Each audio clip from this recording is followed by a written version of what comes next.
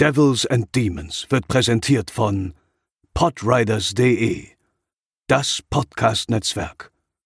Diese Episode wird präsentiert von Deadline, das Filmmagazin, die Fachzeitschrift für Horror, Thriller und Suspense. Jetzt im Kiosk oder online unter deadline-magazin.de. Moin Moin und herzlich willkommen zur 261. Episode von Devils and Demons, der Horrorfilm-Podcast. Ich bin der Chris und bei mir sind zum einen Theresa. Hallo. Und Pascal. Hallo. Wir reden heute über meine Kindheitserfahrung. Nein, nicht, nicht so ganz, aber über meine Kindheits-Horrorfilmerfahrung ähm, quasi. Darüber haben wir ja schon in vielen verschiedenen Folgen geredet. Ähm, aber ein Film, beziehungsweise eine Filmreihe, die habe ich da jedes Mal vergessen zu erwähnen, glaube ich, die aber tatsächlich elementar war, weil sie wirklich zu den ersten Horrorfilmen gehört hat, die ich je gesehen habe. Die liefen früher echt oft auf RTL 2 und auf Vox und äh, waren so glaube ich, relativ zeitnah an meinen ersten Halloween 4 und 5 Experiences dabei. Und ähm, über was reden heute? Über die Stepfather-Trilogie ähm, aus den Jahren 1987 bis 1992 und ähm, was es damit auf sich hat, wie wir das finden und äh, was Stefanie damit zu tun hatte, das hören wir nach dem Intro.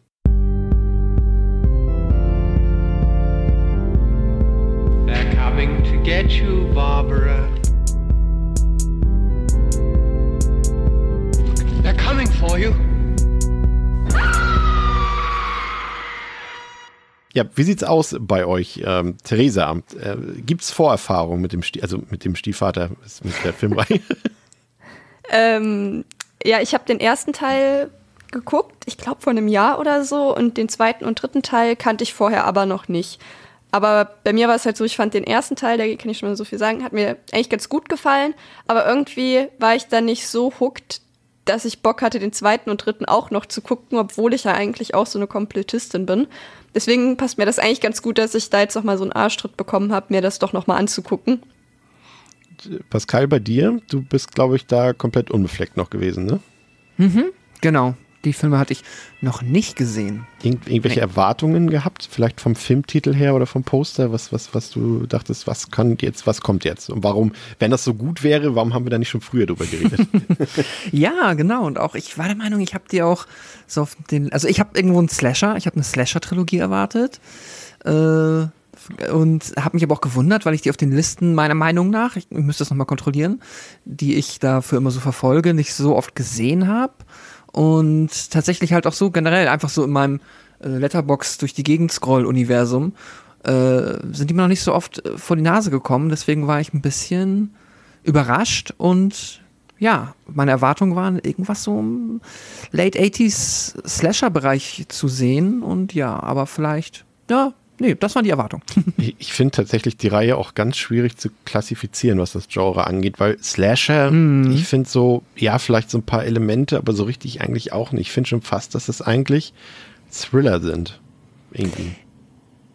Ja, also das wäre auf jeden Fall auch, wenn wir nun über die Filme reden, ich finde es äh, auch ein Punkt, den ich ansprechen wollen würde, weil ich finde es auch super schwer. Ich habe auch zwischenzeitlich gedacht, sind das Thriller, aber dafür bin ich dann irgendwie wieder bei einem Thriller zu nah am Übeltäter. Also, aber da kommen wir ja gleich drauf. Äh, ja. Ist, ich finde es nicht so einfach. Stimmt schon, zumal die sich auch die drei so in, eigentlich, obwohl sie alle drei dieselbe Geschichte erzählen, unterscheiden sie sich so auch so ein bisschen, was die Tonalität angeht und mhm. was so ein bisschen, hier ist mal ein bisschen blutiger, da ein bisschen weniger, aber da können wir gleich noch ein bisschen genauer drauf eingehen. Ähm, den Anfang machte 1987 der Film The Stepfather und der hat auf Letterboxd eine Durchschnittswertung von 3,4 von 5, auf der IMDb eine 6,7 von 10. Wie viel der gekostet hat, das habe ich leider nicht herausgefunden.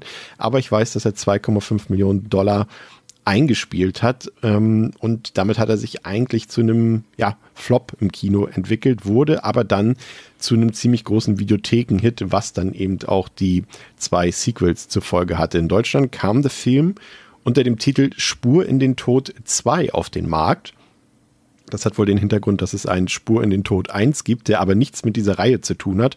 Und man wollte einfach hier wieder so eine künstliche Reihe aufbauen, wie man das in, in Deutschland ja so kennt, zum Beispiel von Karate Tiger oder sowas, so irgendwelche imaginären Filmreihen, die man sich da zusammengesponnen hat. Ähm, und so war das wohl auch hier der Fall. Wenn ihr den Film sehen wollt, es gibt Mediabooks ähm, von den Stepfather-Film. Die würde ich allerdings nicht empfehlen. Guter Rat von mir. Finger davon lassen. Ähm, da haben unter anderem die Herren Krekel und seine Firma Digital Dreams so ein bisschen ihre Finger im Spiel. Und das ist wohl qualitativ einfach nicht eine ganz äh, saubere Scheibe. So, also ich ähm, wie soll man sagen? Also ich habe noch so eine Blu-ray, falls man die noch irgendwo findet, von Epix Media, so eine Amaray, aber dafür zahlt man sich mittlerweile, glaube ich, auch irgendwie den Wolf ab. Meine Empfehlung ist, schaut euch die Filme entweder gratis bei YouTube an, die sind da alle drin, ähm, teilweise sogar auf Deutsch, braucht man auch keine besonders lange Suche für, oder wenn ihr VPN habt, ähm, Theresa, die sind auch alle bei Tubi, Tubi drin, ne? Genau, Ja, auch in vernünftiger Qualität wahrscheinlich. genau. Aber da halt dann nur auf Englisch. Ja, aber das äh, kriegen die meisten von euch ja sicherlich hin. Der Film hat eine FSK 18 Freigabe bekommen, läuft 89 Minuten und wurde gedreht von Joseph Rubin. Ähm, den kennt man vielleicht als Regisseur der Filme Der Feind in meinem Bett mit Julia Roberts, aber auch das zweite Gesicht mit Macaulay Culkin oder A Dreamscape. Ja, ähm, wir gehen heute zum einen, weil die Filme sich inhaltlich sehr stark ähneln, gehen wir jetzt nicht Szene für Szene durch. Wir haben ein paar längere Inhaltsangaben vorbereitet, so dass ihr auch ungefähr eine Vorstellung davon habt, äh, wenn ihr den Film jetzt nicht gesehen habt oder nicht gucken wollt, was es damit auf sich hat. Und äh, den Anfang macht heute Pascal. Jerry ist ein Mann mittleren Alters, der gerade sein Haus in einer Vorstadt zum letzten Mal verlässt, denn er hat seine Familie auf bestialische Art und Weise umgebracht. Ein Jahr später hat eben jener Jerry längst wieder in eine neue Familie eingeheiratet. Doch seine neue Schwiegertochter Stephanie zweifelt an Jerry und seinen Vaterqualitäten. Sie vermisst ihren verstorbenen leiblichen Vater. Immer wieder fällt Jerry mit Wutanfällen und seltsamen Versprechern auf, doch er schafft es immer wieder, die Situation zu seinen Gunsten zu lösen. Stephanie, die in der Schule häufig Probleme macht, bittet ihren sympathischen Psychologen, ihren Stiefvater einmal auf die Finger zu schauen. Doch erst als er sich Jerry unter falscher Identität vorstellt, schafft er es an Jerry ranzukommen. Doch dieser riecht den Braten und erschlägt den Psychologen. In der Zwischenzeit ermittelt Jim, dessen Schwester von Jerry getötet wurde, auf eigene Faust, nachdem sich die Polizei in diesem Fall einfach nicht mehr weiterkommt. Jim findet heraus, dass Jerry sich unter falscher Identität schon mehrfach in Familien eingeheiratet hat, um diese früher oder später unter die Erde zu bringen. Jim kommt Jerry auf die Spur und versucht dessen neue Familie zu warnen. Doch es ist bereits zu spät. Jerry, der sich in die Enge gedrängt gefühlt, fühlt, bereits nach, nach mit neuer Identität nach einem neuen Leben umgesehen hat, Entschuldigung, tötet seinen Ex-Schwager und attackiert nun auch seine neue Frau Susan und Stieftochter Stephanie. Doch die beiden Frauen zeigen sich wehrhaft und bringen Heiratsschwindler Jerry zur Strecke. Ja, dass ich ausnahmsweise nicht äh, gelacht habe, als du den Namen äh, Stephanie sehr deutsch interpretiert hast, äh, liegt tatsächlich an der deutschen Synchronfassung, die ich doch, die mal wieder zu den Synchronfassungen gehört, die ich schon fast bevorzugen würde, ähm, wie wir ja auch unsere berühmte Pornosynchro von, von The Prowler, falls ihr euch noch erinnert daran. Ähm, hier ist es auch so, dass es, äh, dass irgendwie alles eigentlich ziemlich englisch ausgesprochen wird in der deutschen Synchronfassung, aber der Name Stephanie nicht. Der wird so richtig krass hart deutsch Stephanie ähm, ausgesprochen und im O-Ton äh, nennt Jerry sie, glaube ich, auch immer Steph ab und zu. Und da wird dann in der deutschen Synchro auch sofort Steffi draus gemacht und das äh, fand ich doch ein bisschen witzig, dass wir das äh, hier an dieser Stelle doch äh, einmal ganz kurz einspielen aus der deutschen Synchronfassung. Stefanie? Alles okay, mein Schatz, ich tu dir nicht weh. Stefanie, komm her. Komm jetzt sofort her! Steffi, komm her, mein Kleines. Wo bist du, Stefanie? Also, ich sag dir, Darling, das ist alles absolut perfekt. Ähm, Was hältst du von dem Truthahn, Steffi? Er ist fast zu schön, um ihn zu essen. Ja. Also, was ist? Schneiden wir den Vogel auf, Steffi? Hell oder dunkel?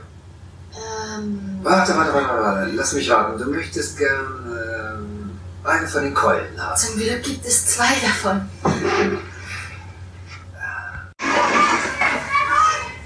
Das war das letzte Mal, dass du hier in meiner Klasse Terror machst. Aber Mr. Conroy, Stephanie hat nicht angefangen. Wenn ich ihre Meinung hören möchte, dann frage ich danach. Und du kommst jetzt mit? ja, so viel äh, dazu. Also falls ihr, hier, hier ist es ausnahmsweise verziehen, wenn man sich den Film auf Deutsch anguckt, glaube ich. Das ist ein eigenes Erlebnis für sich. Ähm, der Film beruht so ein bisschen auf einer wahren Begebenheit, beziehungsweise ist inspiriert vom Fall ähm, des Mörders John List. Der brachte im Jahr 1971 seine gesamte Familie um und konnte knapp 18 Jahre lang vor seiner Verurteilung fliehen und ähm, er wurde dann damals ähm, durch die Kriminalserie America's Most Wanted, also das ist quasi das Äquivalent zu Aktenzeichen XY ungelöst, konnte er dort ausfindig gemacht werden. Ähm, ich muss gestehen, dass der Film Pascal am Anfang vielleicht etwas suggeriert, was er dann vielleicht gar nicht unbedingt halten kann. Ähm, und zwar direkt am Ende der Opening Credits äh, sehen wir ja, wie Jerry das Haus verlässt und mhm. äh, wir bekommen da einen Einblick, Einblick von diesem wahnsinnigen Blutbad, das er dort in diesem Haus äh, angerichtet hat oder hinterlassen hat. Äh, da liegen irgendwie, glaube ich, drei Leichen rum und alles ist komplett Blut übersät, Blut verspritzt und, und überall liegen Leichenteile rum. Und er verlässt das Haus, als wäre nichts gewesen. Und das, das suggeriert vielleicht wirklich noch, dass wir hier einen knallharten, brutalen Slasher zu Gesicht bekommen. Aber zumindest in dieser Hinsicht äh, kann der Film sein Versprechen vielleicht nicht einlösen. Ne?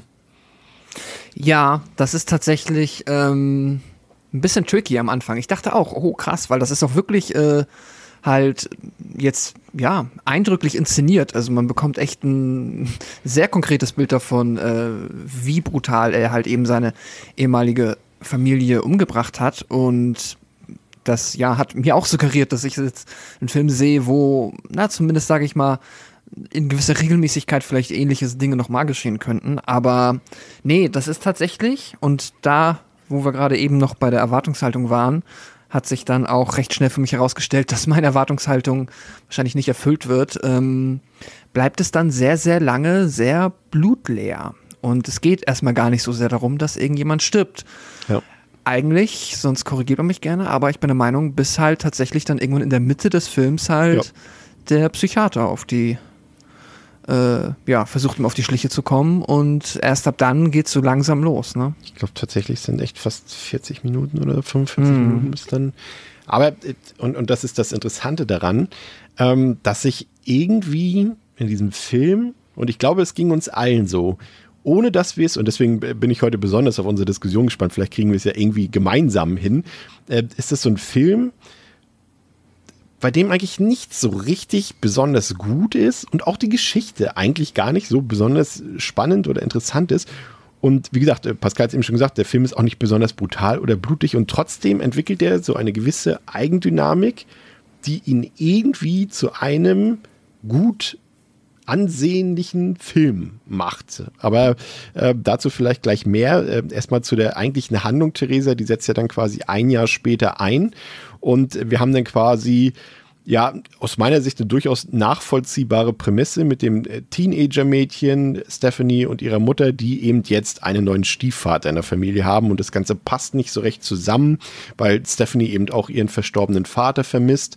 Ähm, und das ist irgendwie eine Situation, die hat man jetzt vielleicht im Mittelpunkt jetzt nicht in so vielen Horrorfilmen bisher gehabt. Und ich finde, das ist ja auch ein Thema, das ist ja ein natürliches Thema. Ne? Also du hast irgendwie äh, eine Witwe vielleicht oder vielleicht auch in, in, im, im Verlaufe der anderen Filme ist ja so, oder irgendwie getrennt lebende ähm, Leute und eine Person ist alleinerziehend und dann kommt eben jemand Neues in die Familie rein und das äh, sorgt ja eigentlich sehr oft zumindest für ein gewisses Konfliktpotenzial und äh, mir hat es gefallen, muss ich gestehen. War das auch was für dich thematisch, Theresa? Ja, ich finde, das ist halt irgendwie ein realistisches Setting, wie du schon sagst. Es ist was, was passiert. Eltern trennen sich und finden neue Partner, Partnerinnen.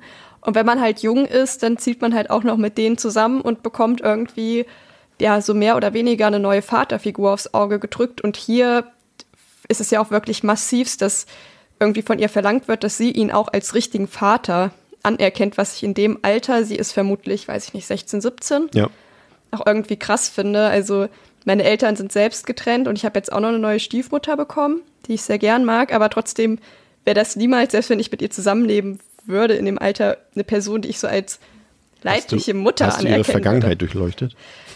Ich glaube, die ist unauffällig, aber ich, ähm, ich wohne ja nicht mit ihr zusammen. Ich glaube, es ist nicht so schlimm. muss, wenn, ich, wenn muss mein Papa dran glauben, aber wir drücken einfach mal die Daumen. Eigentlich mag ich sie sehr.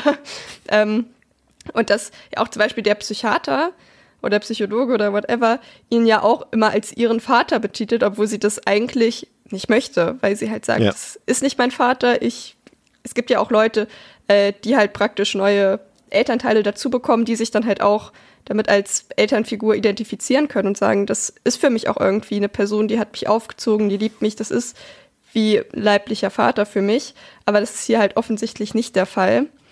Und ja, zu Stephanie, die mag ich auch echt gerne, muss ich sagen, weil sie nicht so dieses typische Slasher Final Girl ist, die so ganz unbefleckt ist, sag ich mal, sondern dass sie halt auch so ein bisschen, ja, Ecken und Kanten hat, aber auch nicht in einem zu unrealistischen Setting. Also sie ist jetzt auch nicht so die krasse Draufgängerin, dass sie irgendwie schon wieder unrealistisch wirkt, sondern ich finde, man kann so ihre Wut und ihre Probleme total gut nachvollziehen. Und für mich ist es auch in dem Rahmen, wie sie halt Probleme macht, dass sie sich halt mal so ein bisschen mit einer in der Schule schlägt.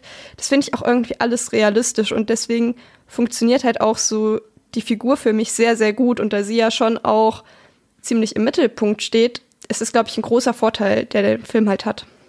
Ja, ich finde auch, dass das, äh, das macht der Film sehr clever irgendwie, dass er die beiden irgendwie auf so eine Stufe hebt. Ne? Zum einen ist es, was er, was er natürlich erzählerisch macht. Wir haben hier Pascal Täter und Opfer verfolgen wir quasi gleichermaßen, ne, mit, also mit gleich viel Mhm. Screentime, die, weil sie ja logischerweise auch miteinander interagieren.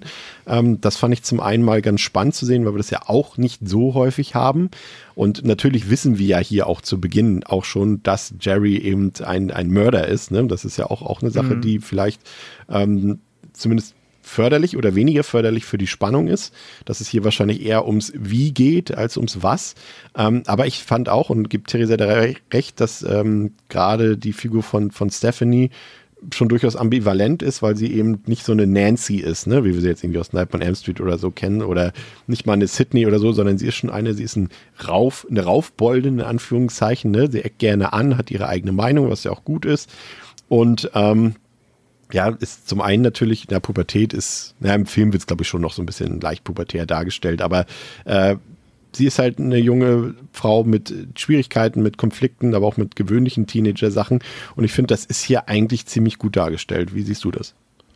Darf ich noch mal ganz kurz reingrätschen? Ja. Was ich halt auch noch mal finde, warum das, glaube ich, warum sie so greifbar ist, ist, dass man ja auch weiß, warum sie das tut. Und zwar, weil sie ja das Ziel hat, aufs Internat zu kommen, Ja. damit sie weg von Jerry kommt. Und dadurch wird es halt auch irgendwie so total greifbar, dass es nicht irgendein Mhm. Hirngespinst ist, sondern dass sie ja da auch eine klare Motivation hat, die nachvollziehbar ist. Okay, Pascal, jetzt darfst du.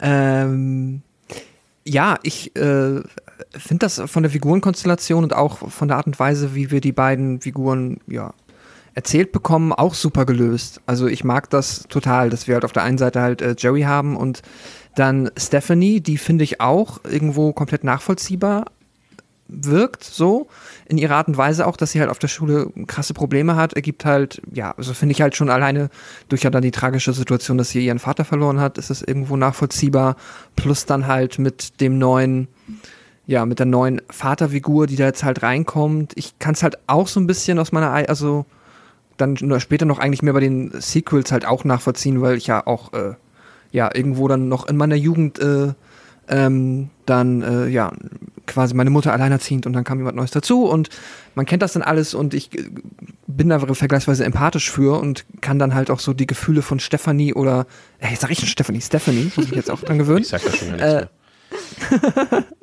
ähm, kann ich sehr gut nachempfinden. Und es ist, äh, deswegen finde ich auch, also es hätte nicht funktioniert, wenn wir nicht von Anfang an gewusst hätten, dass er der Täter ist, glaube ich, weil dann hätte man sich, glaube ich, wirklich 40 Minuten lang die Frage gestellt, ob man im falschen Genre gelandet ist.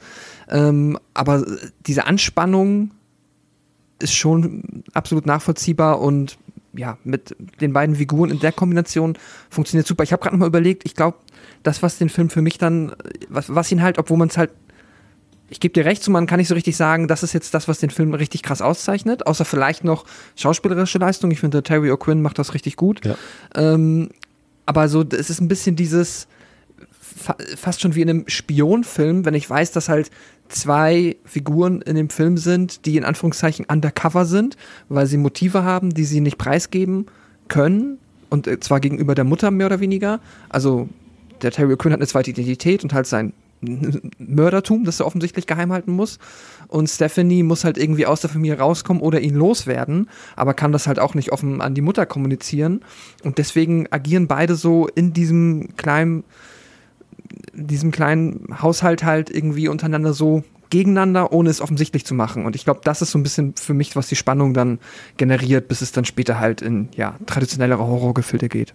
Ja, das finde ich. Ja, genau, ja. Der äh, Drehbuchautor Donald E. Westwick, der hat äh, Stephanie nach seiner eigenen Stieftochter ähm, geschrieben, mit der er sehr häufig Schwierigkeiten hatte, wollte ich an dieser Stelle noch anmerken. Das kann man jetzt von dem Autoren halten, was man will. Aber ich gebe dir vollkommen recht, eine Stärke des Films ist auf jeden Fall der Cast hier. Und wir haben hier zum einen eben äh, den Jerry, der gespielt wird von Terry O'Quinn. Den dürften die meisten von euch eigentlich als John Locke kennen aus der Serie Lost. Da hat er ja eine, eine sehr omnipräsente Rolle gehabt. Und ich finde auch, dass er das, er ist wahrscheinlich rein äußerlich der schlichteste Antagonist, den wir hier je bei Devils and Demons, glaube ich, hatten.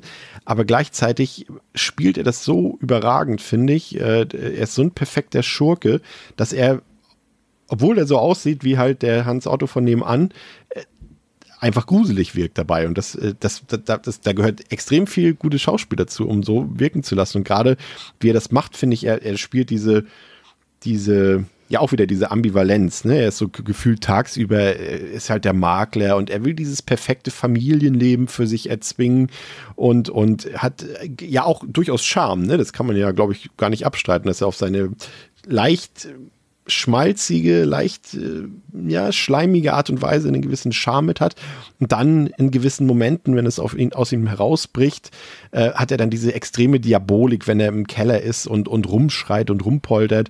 Und ähm, wenn er diese Aussätze hat, die ich ja, die ich super finde in dem Film, wenn er auf einmal anfängt, Namen zu verwechseln, zum Beispiel den, den Kindernamen benutzt von, von, von, von seiner, in Anführungszeichen, früheren Stieftochter, die er beim Fall vom, vom Intro quasi umgebracht hat und, und dann über Stephanie reden will, aber den Namen des anderen Mädchens benutzen und die Leute so um ihn herum, äh, hast du nicht eben noch gesagt, sie heißt Stephanie und nicht Jill, so und so eine Sachen und das, das mag ich total, dass er da, äh, weiß ich nicht, er spielt es überragend, finde ich, Theresa. Ja. So richtig, also ich habe muss muss gestehen, ich habe früher, als ich die Filme zum ersten Mal gesehen habe, wirklich Angst vor ihm gehabt. Gerade so vor dieser Szene, wenn er da im Keller ausrastet und und äh, um sich schlägt oder aus, ja halt richtig ausrastet. Ja, also sehe ich auch so. Vor allem, man fragt sich ja auch die ganze Zeit so, wann dreht er jetzt durch? Also wir wissen ja, zu was er fähig ist. Alle anderen wissen es noch nicht, aber wir wissen es. Und dann ist ja wirklich echt einfach nur die Frage, wann passiert das jetzt? Und es gibt immer mal so Ecken, wo man denkt, okay, jetzt ist es soweit jetzt bringt er irgendwen um. Vor allem, wenn man den Film das erste Mal sieht und vielleicht halt wirklich auch noch denkt, man guckt hier einen Stasher, wäre es ja auch nicht unrealistisch, wenn nach 15 Minuten schon einer stirbt. Und das macht den Film halt irgendwie auch noch mal relativ interessant, dass man nie so ganz weiß, so dreht er jetzt durch, passiert's jetzt oder doch nicht. Und er bringt es halt, wie du schon gesagt hast, sehr, sehr gut rüber, weil er gleich, also weil er zum einen so der most random Typ einfach ist, ja. den man hätte finden können.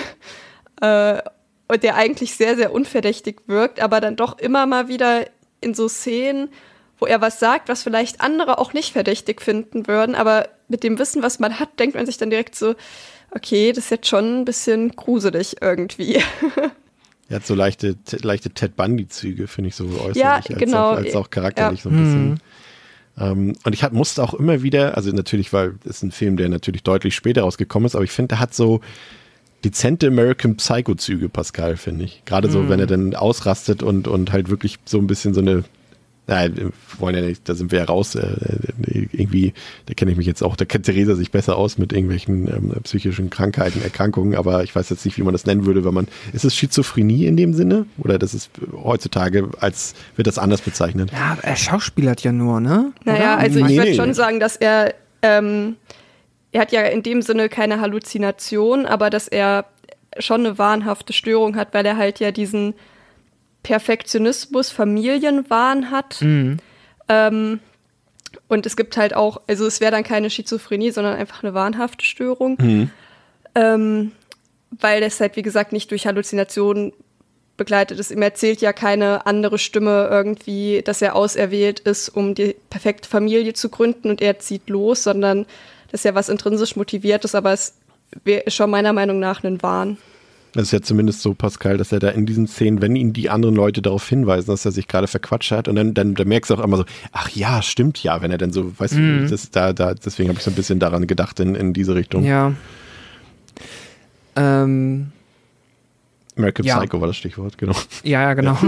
äh, ja, auf jeden Fall. Also er hat äh, ja diese Figur quasi, dass du halt ja nach außen, wenn er halt sein perfektes Familienleben versucht äh, umzusetzen und halt auch nach außen wie die ganz klassische traditionelle Vorstadtfamilie halt in den USA, wie man sie halt, weiß ich nicht, aus den so aus Werbespots kennt, Ja. wie es halt sein soll. So, das ist halt sein sein ähm, ja, sein angestrebtes Ziel. Und ich finde es ganz spannend, weil was ich ganz gut gemacht finde, ist, dass ich nicht so richtig immer nachvollziehen konnte, ob das quasi, also ob er diese Familie möchte und wenn es klappt, dann ist auch alles Ja. gut. Ja.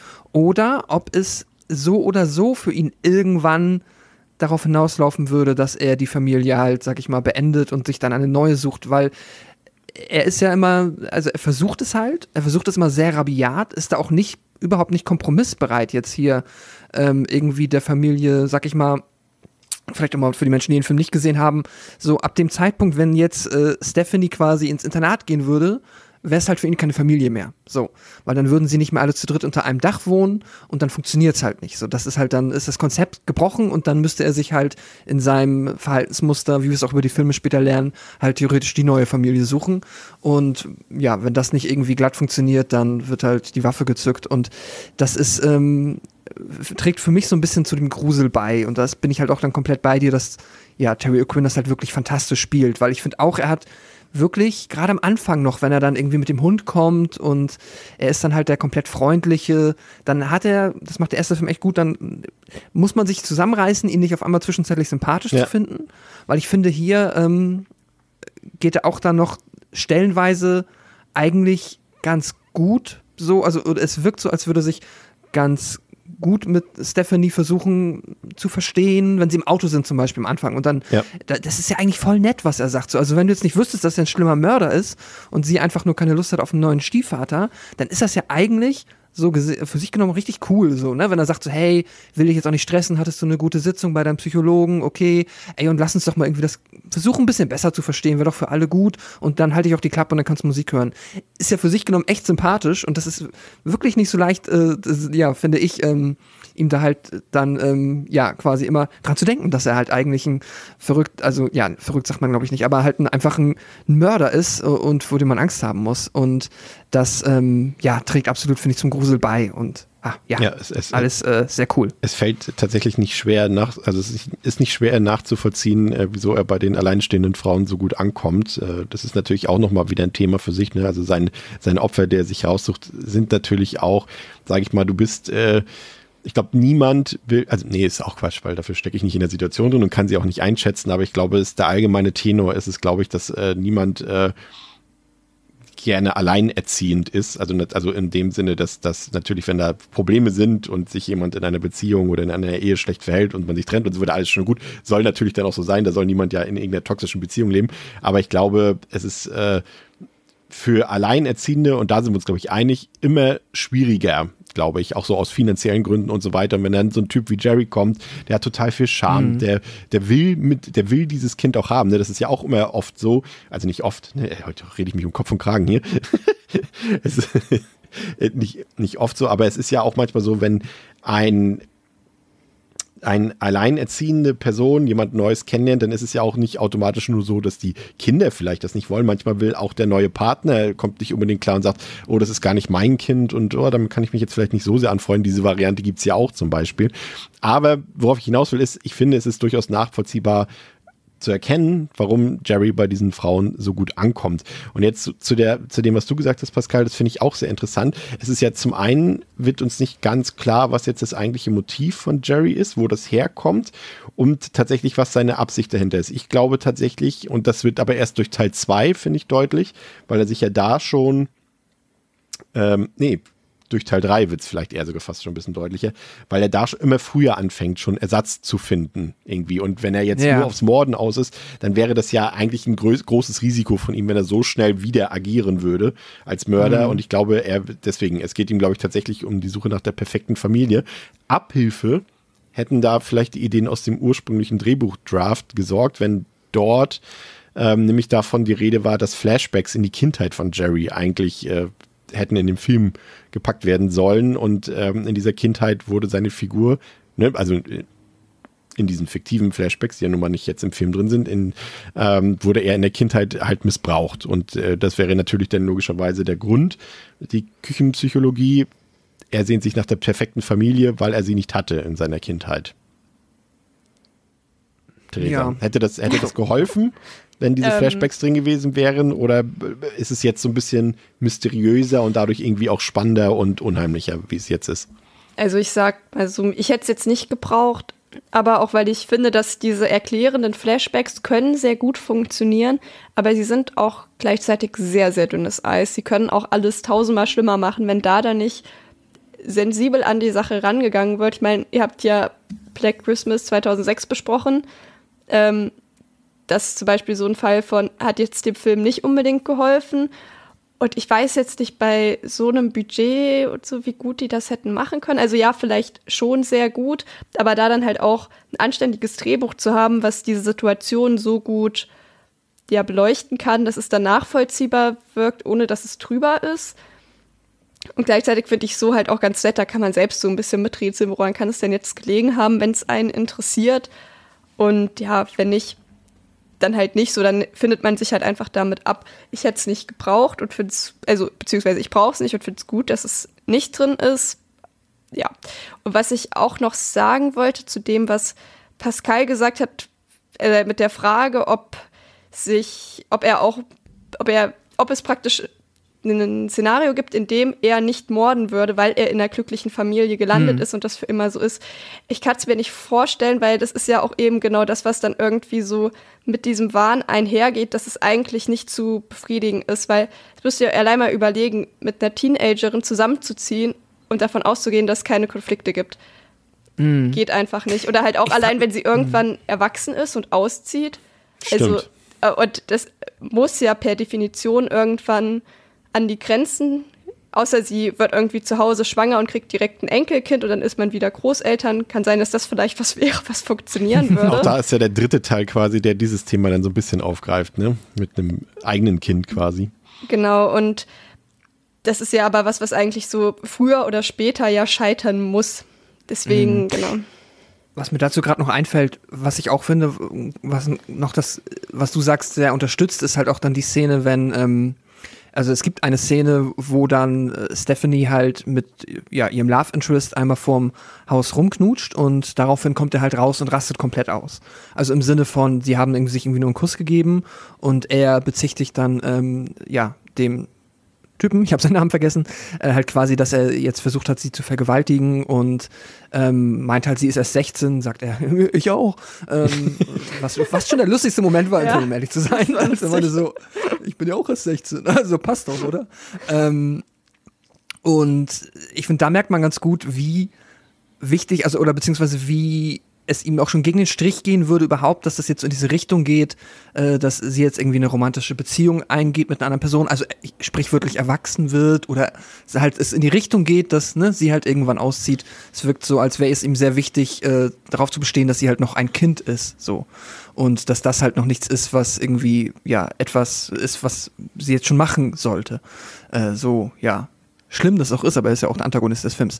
Ähm, ich finde, das ja unterstreicht das oder ja unterstützt diese These auch noch mal ein bisschen, dass es halt früher oder später dann eh eskalieren würde, dann halt über sowas wahrscheinlich. Das ist ja auch der, der Eskalationspunkt bei Jerry, ne? Also äh, das ist ja genau der Moment, also ab diesem Moment plant er ja dann parallel wieder seinen nächsten Neuanfang, genau nach dieser Szene quasi. Ähm, also da war quasi für ihn dann die Grenze über, überschritten und er wusste, dass das mit der heilen Familie hier nicht klappt irgendwie, ne? Und dabei ist es ja eigentlich wirklich was Banales gewesen, ne? Also es hat Ja, erwartet, absolut. was da passiert irgendwann. Aber ähm, wir haben jetzt noch, äh, äh, Pascal, einen zweiten Plot. der durchaus in der Rezeption des Films immer so ein bisschen kritisch gesehen wird, weil er so ein bisschen, naja, ein bisschen nachgedreht wirkt, ne? so ein bisschen Second Unit mäßig irgendwie. Ähm, mhm. Wir haben ja noch den, jetzt habe ich Jim, Jim war das, glaube ich, ne? der eben ähm, der Bruder seiner von Jerrys vorheriger Frau war, die er umgebracht hat und äh, er glaubt, dass Jerry damit etwas zu tun haben könnte und er versuchte anfangs zusammen mit einem, war das ein Privatdetektiv oder war das noch ein Polizist, mit dem er, nee, es war, war schon noch ein Cop, glaube ich, ne? Es war ein Journalist, dem er, ähm, mit dem er halt, ah, wo er wollte, dass die ja. Story nochmal in der Zeitung Stimmt. auftaucht.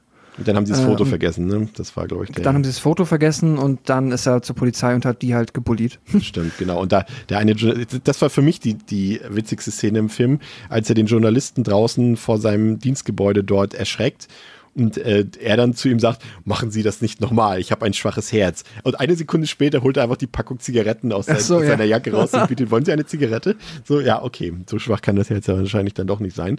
Ähm, aber wie fandst du diesen Investigation-Part, den Jim ja letztendlich hier übernimmt? Ähm, vor allem auch vielleicht schon mal so ein bisschen mit der Voraussicht, dass seine Rolle am Ende ja eigentlich nicht besonders hilfreich war, wenn man mal sein Ableben am Ende des Films schon mal in Betracht zieht. Das ist echt, ja. Ähm, können wir ja an der Stelle, glaube ich, auch spoilen, ne? Wir ja. gehen jetzt hier nicht Schritt für Schritt durch. Also, es läuft im Endeffekt darauf, dass halt Jim, haben wir, glaube ich, auch in der Inhaltsangabe gesagt, dass er ihm halt auf die Schliche kommt, dann tritt er in das Haus und sagt, haha, du bist es und bumm, ich bin tot. Ja. Das ist so also dieser, ist dieser, halt dieser Moment im, im, Horrorfilm, wenn ein Polizist zur Hilfe kommt und du genau weißt, ja. der, ist, der hilft nicht, der ist genau nach einer Sekunde tot und kriegt die Kehle durchgeschnitten. Ja, ja, genau. Also es ist, er hätte nicht weniger an der eigentlichen Handlung des Films ändern können, als er es getan hat. Ähm, und trotzdem ist er dann halt, ja, halt so als Subplot in dem Film mit eingewoben.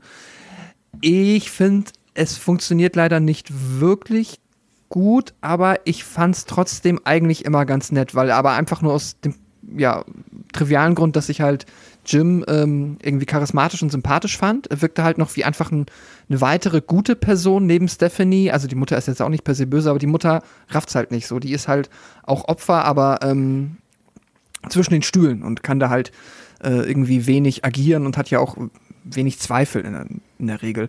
Aber äh, Jim ist halt dann auch quasi noch die zweite Person, obwohl er Stephanie noch nicht kennt, der aber halt äh, ja das gleiche Ziel verfolgt, nämlich Jerry irgendwie auf die Schliche zu kommen und ja, diese investigative, ja, diese äh, Ermittlung, die er da halt durchführt, die ist halt so halb gut. Es gibt ja so mal hier und da Szenen, die sollen ein bisschen witzig sein, wenn er versucht dann später raus, oder er schafft es ja auch, er möchte sich dann ähm, das komplette, ich glaube, äh, wie sagt man, Eheregister des Ortes ausgeben lassen, wo man halt nachvollziehen kann, welche Personen jetzt halt gerade irgendwo eingeheiratet haben, zum Beispiel, um dann halt ne, nach dem ähm, Serienkiller-Muster, das er offensichtlich verfolgt, halt äh, dann einfach alle abzuklappern und dann ist das so ein kleiner Gag, dass dann halt irgendwie der Behördenobermensch sagt nein, aber mit der Sekretärin kann er dann ein bisschen flirten, weil er so ein gut aussehender Typ ist und dann klappt's doch.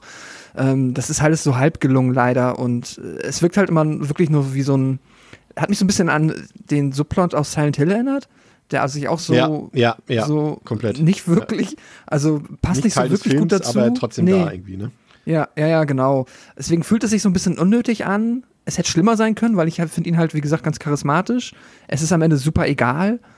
Und ja, also hätte man auf jeden Fall mehr draus machen können, aber ja, ist jetzt halt ähm, leider nicht so so sinnig irgendwie in den Film integriert, wie es hätte sein können. Und trotzdem, Theresa, ist es für mich ein Pluspunkt des Films, wenn man die beiden anderen Teile kennt, weil dort habe ich das tatsächlich vermisst. Das, also irgendwie hat für mich das so einen kleinen Unterschied gemacht zwischen dem ersten und den beiden anderen Filmen, dass irgendwie so eine Figur wie Jim, die halt parallel dazu, außerhalb dieser Familie stehend, okay, das haben wir später noch so ein bisschen, na, man muss es, glaube ich, noch ein bisschen unterscheiden. Ne? Also ich finde, äh, wir müssen, ich muss mal schon die beiden anderen Filme mit dazugreifen. Ich finde, es gibt in jedem Film immer eine zweifelnde Figur. Das ist im, im ersten Teil ist es logischerweise Stephanie, im zweiten Teil ist es ja dann die Freundin der Mutter ähm, und im dritten Teil ist es dann wieder das Kind.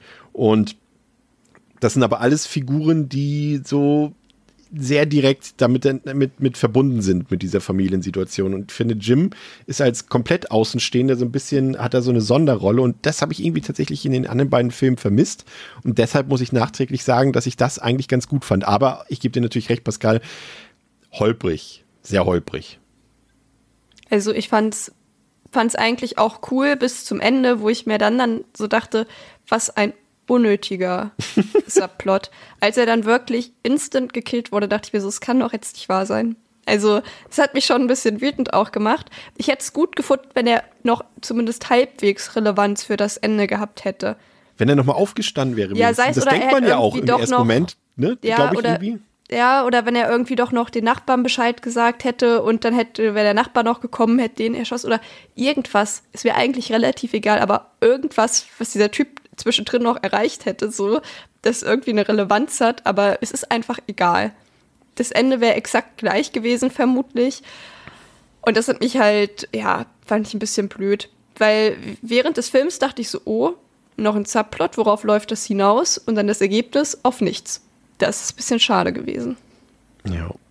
Was ich ähm, mochte, um nochmal auf die Frage zurückzukommen, was diesen Film dann irgendwie so gut macht, weil ich glaube, das kann ich schon mal spoilern, wir finden den alle drei mindestens recht gut, sogar bis ganz gut. Und ähm, ich, ich weiß es ehrlich gesagt nicht, weil Pascal, wir haben ja eben schon festgestellt, bis zum ersten Kill vergeht irgendwie die Hälfte des Films, aber es ist nicht so, also ich persönlich, als hätte ich das jetzt als besonders schlimm empfunden irgendwie, weil ich das irgendwie, der hat so eine, er ist ja auch von seiner Inszenierung her nicht besonders auffällig, aber irgendwie macht mir das Spaß, den Figuren dabei zuzugucken, auch bei diesem, bei diesem Spielchen, was sie so ein bisschen führen. Auch weil gerade Jerry, man, man, man überlegt ja auch immer, ah, jetzt müssten sie mir eigentlich auf die Schliche kommen, aber er schafft es immer wieder, die Situation auf seine Seite zu ziehen. Ne? Und das macht irgendwie, hat so einen gewissen Reiz. Ich weiß es auch nicht. Und das ist so der Punkt, ist der eine. Und der andere Punkt ist irgendwie, dass es für mich einfach dieses Ende 80er Jahre, dieses leicht Schmuddelige irgendwie hat. ne? Also der Film ist jetzt kein Schmuddelfilm in dem Sinne, wie das vielleicht klingen mag, aber er hat diese schmuddelige Atmosphäre, ne? so diese Anfang 90er, Ende 80er, finde ich so ein bisschen, was auch irgendwie seinen gewissen Reiz ausmacht. Gerade zum Beispiel auch in dieser ersten richtigen Kill-Szene, als er den Psych Psychologen dort von Stephanie dort umbringt und äh, sie sie dort beide sich so ein kleines Wortduell dort liefern in diesem, Jerry ist ja Makler, das hatten wir schon erwähnt, und in einem von diesen Musterhäusern quasi oder in einem von diesen Häusern, die dort zu, zur Vermietung anstehen und sich dort treffen und der Psychiater eben auch ja eine falsche Identität vorgibt, so wie es Jerry ja auch die ganze Zeit tut. Und das Mhm. ist so eine Szene, die ich finde, das irgendwie hat das was. Das ist tatsächlich eine ziemlich coole Szene, ja. Wenn sie halt, ähm, das ist halt wieder das, was ich meine, so mit diesen, ja, vielleicht gibt es da noch ein Genre, das mir jetzt gerade nicht einfällt, aber halt so dieses Spion-eske Figuren äh, interagieren miteinander innerhalb von Dialogen, aber können ihre Identität nicht preisgeben und so. Vielleicht auch, weil wir als ja- Zuschauer mehr wissen als die Figuren und das hier besonders Ja. von Bedeutung ist. Ja, wahrscheinlich. Ähm, aber das hat auf jeden Fall einen gewissen Reiz. Und deswegen, ich, also, was mir am Film gut gefallen hat und warum ich äh, dann am Ende des Tages den Film auf jeden Fall äh, ja, recht gut finde, ist eigentlich eine schöne Beschreibung, äh, ist halt, glaube ich, einfach, ich fand den Film spannend. Ich war tatsächlich äh, angespannt, weil ich die die äh, ja so so sehr auch mit mit Stephanie und halt mit der Mutter halt auch, aber die wusste es halt nicht so sehr mitgefühlt hatte und auch Angst um die hatte, weil ich halt ich finde ihn der Jerry ist halt wirklich sehr hassenswert und sehr furchteinflößend. Und was ich halt, was so komplett gegen meine Erwartungshaltung dann tatsächlich ging, ist, wie ich den Film so vom Vibe finde, weil ich finde, ich habe damit gerechnet, dass das eher so ein bisschen Richtung seichteres 80s Horror Entertainment Kino geht. Und ich finde den Film, das meine ich jetzt aber nicht unbedingt negativ, aber ich finde ihn vergleichsweise fast schon ein bisschen Depri oder halt sehr aber das Krass. ist vielleicht Für mich ist es ein aber- aber Feelgood-Film. Ehrlich jetzt, ohne nee, Scheiß. für mich nicht. Nee, ich, ich, ich fand ihn richtig, also ich, ich deswegen, ich habe auch wollte auch mal dann, äh, habe erst überlegt, ob ich eins und zwei in einem Abend gucke und dachte so, nee, der hat so richtig bei mir, der hat mich runtergezogen, aber ich fand den Film dabei gut. Also, ne, es ist jetzt sowas wie, wenn ich, keine Ahnung, ne, kann ja auch einen, einen traurigen oder einen dramatischen Film gucken und ihn richtig gut finden, aber er, ja, zieht mich halt runter und das hat der Film schon irgendwie geschafft, aber das ist vielleicht irgendwie was, weiß ich nicht, persönliches, keine Ahnung, oder individuelles, subjektives, weil wie der Film einfach auf mich gewirkt hat. Auch so ein bisschen der Soundtrack hat da meiner Meinung nach auch mit reingespielt. Ich finde, der ist auch sehr, später noch mehr in den anderen Filmen, sehr irgendwie melancholisch. Also ich fand den Film, ja. Kann, können wir melancholisch auch durch, durch wahnsinnig schlecht ersetzen? Ja, die Soundtracks sind in den Filmen alle fürchterlich. Das Äh, ist, finde ich ich. habe echt gedacht, das ist, also ich finde das, das Theme, wenn man so will, also dieses eine Motiv, was da ein bisschen öfter gespielt wird, das ist okay, aber ich finde der Rest klingt irgendwie wie Stock Musik aus dem Synthesizer irgendwie. Das echt so zäh war, ja. habe ich das Gefühl. Ja, es ist äh, das und es wirkt halt immer auch. Also es kann auch gut sein, dass der Film gar nicht so äh, melancholisch sein wollte, aber bei mir kam das bei dem auch beim zweiten komplett auf, dieses Gefühl, dass das halt gerade irgendwie nicht für mich so ein viel gut 80er Fun-Film ist, sondern ich fand das so ein bedrückendes Drama fast schon. Mhm. Also äh, ja, es ist Spannend. ging mir ein bisschen an die Nieren, aber dadurch halt, dass es dann halt so intensiv wurde dadurch, hat es dann halt für mich irgendwie ähm, das zu einer intensiven Erfahrung gemacht und ich fand den Film dadurch durchaus am Ende des Tages, ja, also unterhaltsam auf die Art und Weise. Ich fand äh, gerade durch die durch die ähm, Stephanie-Figur hat sich das für mich so ein bisschen aufgelockert, eben weil sie eben dann doch ja auch mal so ein paar paar Coming, also paar Coming of Age Szenen hat, wenn sie sich dort in der Stadt mit ihrem Love Interest ja. dort trifft und so weiter und so fort. Und ich finde, ähm, wir haben vielleicht noch gar nicht drüber geredet, dass die, die Darstellerin äh, Jill Schoen, ähm, die kennt man vielleicht aus, aus ein paar anderen Horrorfilmen, aus Cutting Class zum Beispiel oder aus Skinner und ähm, Phantom der Oper hat sie auch mitgespielt. Übrigens noch Querverweis, kann man an der Stelle machen zu unserer World War Sie oder Z-Folge, wie auch immer man das äh, aussprechen möchte. Ähm, sie war tatsächlich mal Ende der 80er Jahre sogar mal mit Brad Pitt liiert, als sie beide zusammen in Cutting Class äh, mitgespielt haben. Und sie hat leider, also sie gehört eigentlich zu meinen Lieblings-Final Girls so ein bisschen, also in all den Filmen, die ich gerade äh, genannt habe, aber sie hat irgendwie Anfang der 90er Jahre beschlossen, dass sie Hausfrau und Mutter werden will und hat dann ihre Karriere leider, also aus meiner Sicht leider, aus ihrer wahrscheinlich sehr guten, gute Entscheidung, ihre Karriere ein bisschen zu früh beendet. Aber ich finde, sie trägt einen großen Teil zum einen zum Gelingen des Films bei, Theresa.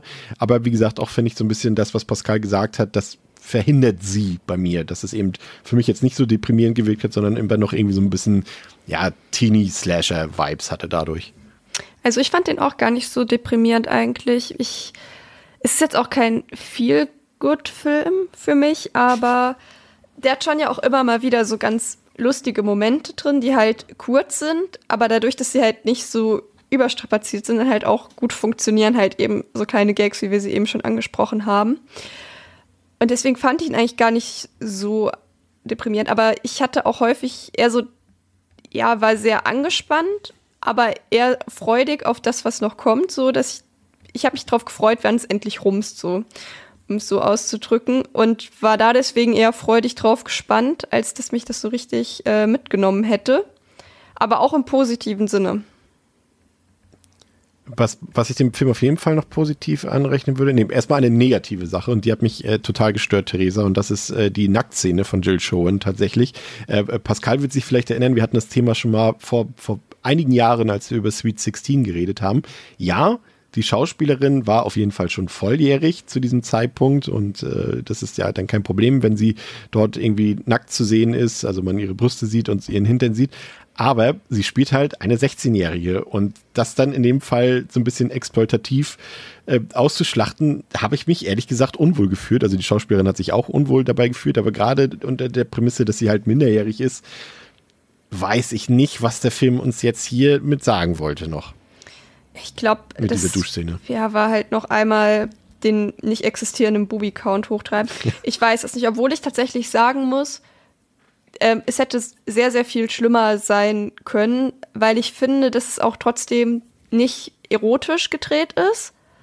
Also es wirkt eigentlich so wie, als würde jemand in die Dusche steigen so wie aber ich das auch mache, ja ohne, ohne, ohne das, genau, das ist halt dann der andere Punkt, aber erstmal dazu, so wie ich auch in die Dusche gehen würde, ohne jetzt nochmal vorher meine Haare zu schütteln oder sowas, was sonst Menschen in Slashern machen, bevor sie in die Dusche gehen äh, und den Körper jetzt nochmal explizit zu präsentieren, aber es ist schon eine unnötige Szene, wo man sich fragt, okay, warum genau geht sie jetzt duschen? So, ähm, ja. und stimmt also dir dazu, dass sie sich auch fehl ins Bett legen können oder sie hätte äh, ein Buch lesen können. Das hätte für den Film absolut nichts geändert, glaube ich. Und vor allem eben die Frage, ne, also ja, sie kann ja auch duschen gehen, dann zeigst du halt im schlimmsten Fall ihren Rücken, aber ja. man zeigt halt ihre Brüste. Ja, ich weiß nicht, ob es ein gescheiterter Versuch davon war, das eben möglichst realistisch darzustellen. Ja, aber das, aber das aber darf ja die halt, Kameraführung nicht interessieren. Ja, es, es muss halt aber trotzdem eben, wie du sagst, jetzt dafür, dass wir hier eine Minderjährige äh, in dem Film praktisch sehen. Und es ist auch unnötig, es passt auch nicht zur Tonalität des Films ja. irgendwie. Also, und man bemerkt halt eben auch, dass sie das irgendwie ja selbst auch, ja, nicht so doll findet, weil dann ist es mir fast lieber, das in so richtig überzeichnet in irgendeinem Freitag der 13. zu sehen, wo man zumindest das Gefühl hat, die Leute stehen dahinter, weil sonst wird man es nicht mit so viel Passion machen, sich da auszuziehen. Ja. Obwohl das vielleicht auch nicht ganz immer stimmt, aber so von dem Gefühl, was es mir als zuschauende Person gibt, dass man zumindest denkt, ach ja, der scheint es jetzt irgendwie nicht so viel auszumachen, die genießt es vielleicht sogar und er freut sich darüber, äh, dass sie einen schönen Körper hat, aber da wirkt er wirklich so ein bisschen, ja, steif und muss das jetzt sein? Das ist so ein bisschen das Motto dieser Duschszene, glaube ich. Ja, Pascal, ich äh, hatte ja eben schon erwähnt, wir hatten das Thema ja schon mal bei Sweet 16. Ja, ähm, ist mir hier jetzt nicht so negativ aufgefallen, aber wahrscheinlich habe ich einfach nicht drüber nachgedacht in dem Moment. Ähm, wenn ich jetzt mich, ja, rückwirkend erinnere, äh, ja. Also die war offensiver, die Szene in Sweet 16. Die hatte halt wirklich, Definitiv, da gab es ja. keine Diskussion, glaube ich, drüber, warum die gefilmt wurde. Hier ist es mhm. noch so, hm, es wird zumindest nicht besonders, wie sagt man, es wird jetzt nicht ästhetisiert, aber ja, wir haben halt den Fakt, ja. 16-Jährige und man muss ja, selbst bei der Duschszene muss man ja keine Brüste zeigen, ne? Also. Ja. Nee, das stimmt. Es sei denn, es war der Ausgleich dafür, dass wir, dass wir, war das in diesem Teil oder war das im zweiten Teil, wo wir Jerrys Schniepel gleich sehen? nee, das war hier, ne? Nee, war das nicht. Sehen wir, Sehen wir den? Ja, Hat ja, wir sehen den. Aber ich weiß jetzt nicht mehr, ob es im ersten oder im zweiten Teil war.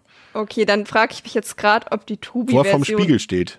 Ungeschnitten ist tatsächlich, weil ich kann mich da nicht, oder ob ich im Moment nicht aufgepasst habe, weil da kann ich mich nicht dran erinnern.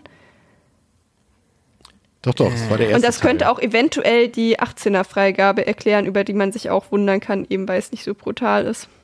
Ich kann Aber es ist auch wirklich nur, nur eine Sekunde oder so. Okay, dann ne? ist es also mir vielleicht doch einfach nur nicht ja. aufgefallen. Aber äh, davon abgesehen ähm, finde ich ähm, zwei Sachen noch gut. Zum einen, dass der Film, also so lese ich den zumindest, Pascal, man kann ihn auch durchaus satirisch sehen, finde ich, weil er eben natürlich sich auch eben mit diesem perfekten Familienleben, du hast es vorhin schon gesagt, eine Vorstadt, nur so dieses Suburban mhm. Life, so, ne? Jeder hat ein Häuschen und es sind immer Mutter, Vater, Kind und äh, alle sind glücklich, alle haben Jobs und so weiter, so wie man sich das vorstellt, so wie das in Serien und Filmen eigentlich immer omnipräsent ist. Und ich finde, der karikatiert das durchaus ganz gut, der Film. Ja, kann ich mir auch gut vorstellen, dass das so ein bisschen der, ja, mit, ein, mit eine Idee hinter dem Drehbuch ist. Ich finde auch gleichzeitig so ein bisschen wirkt das gesellschaftskritisch in der Hinsicht, dass du halt, ähm, ist ja auch etwas, was sich durch die Reihe zieht, dass halt die alleinerziehenden Mütter, die halt offensichtlich das Ziel von Jerry sind, halt ja einfach nur durch ihre Lebenssituation halt so sehr vulnerabel sind ja. und nur deshalb das auch überhaupt so funktioniert, dass es ja immer schon fast fast komisch, wie schnell er es schafft, sich dann da halt ähm, vom jetzt quasi vom Flirt bis zum Ehering durchzuboxen. Das, vor allem auch, äh, dass, dass, den, dass, dass dann die, wie du schon sagst, die vulnerable Person natürlich den Zweiflern auch nicht glaubt. Genau, ja, genau. Ja. Weil ähm, so wie es dann halt ja oft genug leider äh, in der Realität ist und wie es der Film einem hier auch zeigt, da halt ähm, eine gewisse Abhängigkeit besteht davon, äh, den Platz, den jetzt halt hier der verstorbene Vater freigemacht hat, dass der wieder ausgefüllt wird, um halt irgendwie, ja, nehme ich mal an, gescheit über die Runden zu kommen. Und ähm, ja, genau. Und das ist halt das, was halt äh, Jerry so gnadenlos ausnutzt und dass das halt überhaupt nur möglich ist, da sehe ich dann halt ja, so eine leicht gesellschaftskritische Note da drin, weil es sich halt auch so offensiv durch die dann noch kommenden Filme und diesen halt durchzieht, dass er halt auch allein die Möglichkeit hat. Er ist jetzt ja halt auch, so er wird ja einem auch nicht, er wird einem halt als charismatischer, okay, gut aussehender Normalo verkauft, der jetzt auch einen ähm, anständigen Job hat und alles. Also es ergibt Sinn, dass er es jetzt nicht unendlich schwer hat, da irgendwie äh, Menschen für sich zu begeistern. Aber er wird dann jetzt auch, also äh, wie gut es dann gelingt, so dass er halt eben halt schon immer andauernd parallel irgendwo anbandelt und halt schon Plan B schmiedet und schon die nächste Identität annimmt ähm, und ihm auch so viel oder auch so wenig einfach hinterfragt wird, das ist, ist schon alles sehr über, überzeichnet. Aber im Endeffekt, also und das, das kann man da definitiv raus, rauslesen, es ist halt auch wieder die Kritik am Patriarchat, ne? Also das, er ist natürlich der weiße Dude, dem niemand irgendwas zutrauen würde und der immer wieder davonkommt, auch mit dieser Masche, ne? Also schon mal auch wieder ähm, komplett in der Reihe übergreifend, filmübergreifend. Er kommt immer wieder irgendwie davon und kann das immer wieder durchziehen, weil irgendwie nur ganz wenige Personen irgendwie auch daran zweifeln, an seinen Geschichten und an äh, dem, was da passiert. Und äh, das kann man da durchaus äh, vielleicht sogar ein bisschen stärker gesellschaftskritisch äh, rauslesen. Für mich eine der äh, stärksten Sequenzen ist tatsächlich jene kurz bevor er ähm, versucht, ähm, Stephanie und Susan umzubringen. Und das ist der Moment eben, wir haben es vorhin beschrieben, dass äh, Stephanie den Jungen heimbringt und Jerry ausrastet und so weiter. Und ab da eben parallel gezeigt wird, äh, wie er sein jetziges Familienleben noch lebt, aber durchaus da jetzt nicht mehr mit dem Herzen so dranhängt. Er sagt doch zu seiner Frau, ja, ich gehe jetzt dahin und dahin. Und äh, parallel dazu kündigt er quasi schon seinen Job, ähm, fährt mit der Fähre woanders hin und baut sich dort nebenbei schon sein anderes Leben aus. Man sieht, wie er sich auf der Fähre in der Toilette umzieht, wie er sich einen anderen Bart aufklebt, wie er sein Toupet abnimmt, ähm, wie er einen neuen Job annimmt, wie er anfängt schon mit den Nachbarn oder mit den Nachbarinnen zu flirten, dort sich einen neuen Namen annimmt. Und dann kommt er nach Hause seine Frau sagt, ja, ich habe bei dir auf Arbeit angerufen und äh, dein Kollege hat gesagt, äh, du arbeitest da gar nicht mehr. Und er, man denkt jetzt, und dann denkt man, er schafft es wieder, sich rauszureden, weil er sagt, ja, das ist ein Kollege, ich glaube, den muss ich entlassen. Also das kann nicht sein, dass der sowas erzählt. Und dann will er ja diesen fiktiven Anruf dort starten und sagt, ja, hier ist Hodgkins. Und dann merkt man wieder, da hat er wieder seinen Verplapperer, weil das ist nämlich der neue Name, den er angenommen hat. Und so diese Sachen, das sind für mich die, die diesen Film und da leite ich schon mal fast ein bisschen auf mein Fazit über, so extrem unterhaltsam machen. Theresa. Ja, ich finde auch. Also der hat wirklich echt ein paar, es sind halt da wirklich eher so die Kleinigkeiten, als so das große Ganze, was irgendwie dann das Ganze zu was Besonderem macht. Da würde ich dir zustimmen. Ja. Ja, also für mich sehr unterhaltsam der Film, kurzweilig, der hat so eine ganz eigene Atmosphäre für sich, so ein bisschen dieses miefige Gefühl der späten 80er und frühen 90er, die dann irgendwann so die, aus dieser Zeit die Filme, denen kann ich das alles noch irgendwie positiv abgewinnen. Später ja dann, das wisst ihr ja auch als äh, ZuhörerInnen bei uns, so das, was dann in den mittleren 90ern an Horror kam, hat mir dann nicht mehr so gut gefallen, ästhetisch. Aber hier hat es noch so einen ganz eigenen Stil und ich habe immer noch so dieses Gefühl von damals, wenn ich den Film gucke, obwohl er halt, wir haben es schon gesagt, da passiert jetzt auf der Gewaltebene doch relativ wenig. Ne? Also nicht wundern, wir haben das jetzt nicht ausgelassen, aber natürlich im Showdown gibt es nochmal einen, einen Stich mit Messer und so weiter, aber äh, das ist jetzt nichts, was euch irgendwie aus den Natschen kippt. Aber trotzdem habe ich die ganze Zeit bei diesem Film das Gefühl, das ist dieses nachts heimlich wach bleiben und so einen Film gucken, den ich eigentlich nicht gucken dürfte. Und ähm, ich habe mich damals gegruselt. Ich glaube, wenn ich den so, ich finde, der hat auch immer noch so ein gruseliges Gefühl teilweise und dafür brauche eben keine harten Szenen, äh, wie wir das vielleicht bei anderen Filmen irgendwie kritisieren würden. Und ja, die zwei Handlungsstränge, die funktionieren und äh, der eine ein bisschen besser als der andere, aber vor allem ist es für mich auch der große Pluspunkt einfach Terry O'Quinn. Der ist ein perfekter Schurke für mich, der ist super gruselig, der Typ, und dafür muss er sich wirklich, dafür braucht er keine Maske und braucht nicht irgendwie einen, Körper wie Michael Myers oder Victor Crowley oder sowas, der macht auch so irgendwie Eindruck. Und das alles äh, kaschiert dann auch so ein bisschen so die eher durchschnittliche Inszenierung. Wir haben es gesagt mit Pascal von, die Musik, die ist halt echt ätzend teilweise in dem Film. Und wie gesagt, er hat auch so von seiner Inszenierung nicht großartig was zu bieten. Aber das Gesamtpaket gefällt mir irgendwie. Und das ist ein Film, ich habe den jetzt auch schon vier, fünf Mal geguckt und ich werde den, ja, den kann man einfach gut gucken, finde ich. Pascal. Achso, äh, vier von fünf. Noch so hinterhergerufen wie so Marktschreier. ähm, ja, mir hat der Film äh, summa summarum auch gut gefallen. Ich habe es eben schon erwähnt. Jetzt halt nicht so auf der Unterhaltungs-Feelgood-Ebene. Da hat er so ein bisschen an meiner, ist er so ein bisschen an meiner Erwartung irgendwie vorbeigerutscht. Aber stattdessen hat er mich dann einfach tatsächlich, so doof es klingt, auf der Horror-Ebene erwischt, weil ich halt von der Figur des Jerry, gespielt von Terry O'Quinn, der das halt wirklich fantastisch macht, halt ähm, wirklich ja, auf eine positive Art und Weise angeekelt war, weil es mir, weil er mir halt wirklich Angst gemacht hat und weil ich diese intime Familiensituation so gut nachvollzogen empfunden, also so gut, ja, einfach dargestellt empfunden habe, dass man halt wirklich, weil die so, ja, in diesen, in dieser intimen Situation sind, dass man so richtig Angst hat um Mutter und Tochter, weil man weiß, wozu er fähig ist und dann ähm, ja, hat mich der Film auf der Ebene komplett gecatcht und ich bin mitgegangen, habe gehofft, dass da irgendwie Jim von außen oder Stephanie mit ihren Ermittlungen, die sie dann ja irgendwann noch so ein bisschen in die Wege leitet, dass sie da ja ihm irgendwie äh, das äh, ja ihm ein Ende bereiten können, was dann ja auch mehr oder weniger am Ende gelungen ist. Und äh, dann hat er mich einfach auf dieser Spannungs- und es ist dann hier so eine Art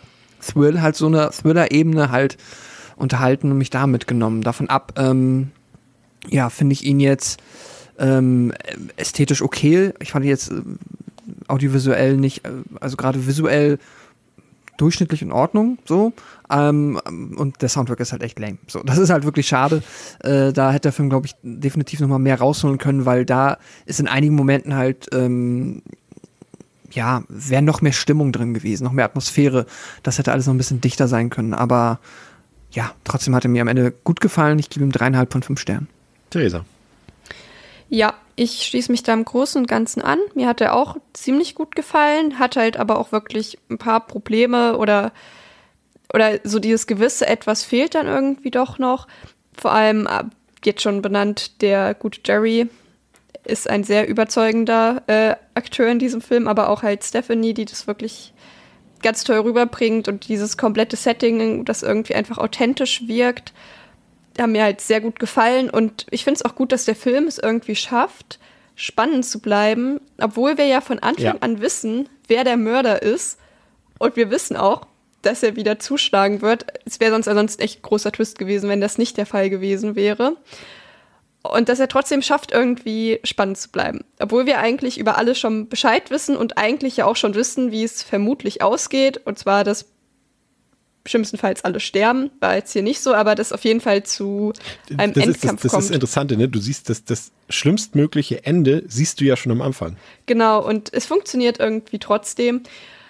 Ja, dann dieser Subplot mit Jim hätte ich jetzt nicht so ganz gebraucht, aber ist auch irgendwie so ein bisschen egal und ist aber irgendwie trotzdem kein Film, der für mich so die Vier-Sterne-Grenze irgendwie knacken kann. Ich bin jetzt auch bei dreieinhalb, weil vier ist dann doch für mich so ein Film, der wirklich auch im Großen und Ganzen rund ist und da spielen dann halt eben so Sachen rein wie der Soundtrack, dass ich sage, nee, das passt irgendwie doch nicht so gut, dass es für mich die vier Sterne sind.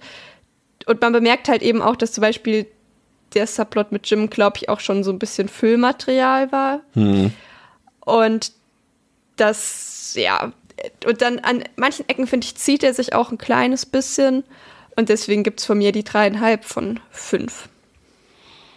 Ja, der Film entwickelte sich auf dem Videomarkt ähm, ziemlich gut, war ein richtiger Hit und wurde ausgeliehen, was das Zeug hält und dementsprechend musste 1989 mit Stepfather 2 auch direkt ein Nachfolger her. Der hat auf Letterboxd eine 2,8 von 5, auf der IMDb eine 5,6 von 10, hat anderthalb Millionen Dollar gekostet und hat auch genauso viel eingespielt. Es gibt hier zwei verschiedene Schnittfassungen. Es gibt eine R-Rated-Version und es gibt eine X-Rated-Version äh, und äh, die unterscheiden sich so ein bisschen handlungstechnisch, aber auch gewalttechnisch. Die Mordszenen sind dort ein bisschen unterschiedlicher anzusehen ähm, in den einzelnen Versionen. Auch hier gibt es diese Mediabooks, die mit Vorsicht zu genießen sind. Äh, die haben auch teilweise echt von der Bildqualität her nur einen alten ähm, SD-Upscale sozusagen. Also wie gesagt, bleibt bei den Varianten, die wir euch vorgeschlagen haben. Der Film war warum auch immer, von 1991 bis 2016 indiziert.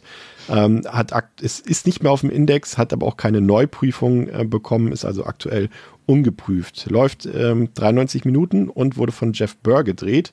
Ähm, den hatten wir tatsächlich schon mal, ist auch schon ein bisschen länger her, weil der hat nämlich ähm, Texas Chainsaw Massacre 3, also Leatherface, gedreht wird uns in diesem Jahr, so viel sei verraten, auch nochmal begleiten, denn er hat äh, drei Puppet Master Filme inszeniert, hat äh, Pumpkinhead 2 gemacht und dreht heutzutage ziemlich einen Billo-Horror-Müll.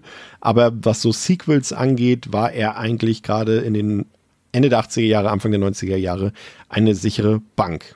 Theresa, worum geht's in Stepfather 2? Stiefvater Jerry hat die schweren Verletzungen, die ihm von Ex-Stieftochter Stephanie zu zugefügt wurden, überlebt und befindet sich nun in einem Sanatorium zur Behandlung.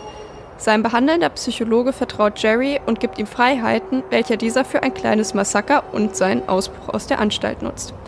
Er gibt sich eine neue Identität und gibt sich nun als Gene, der Familienpsychologe, aus.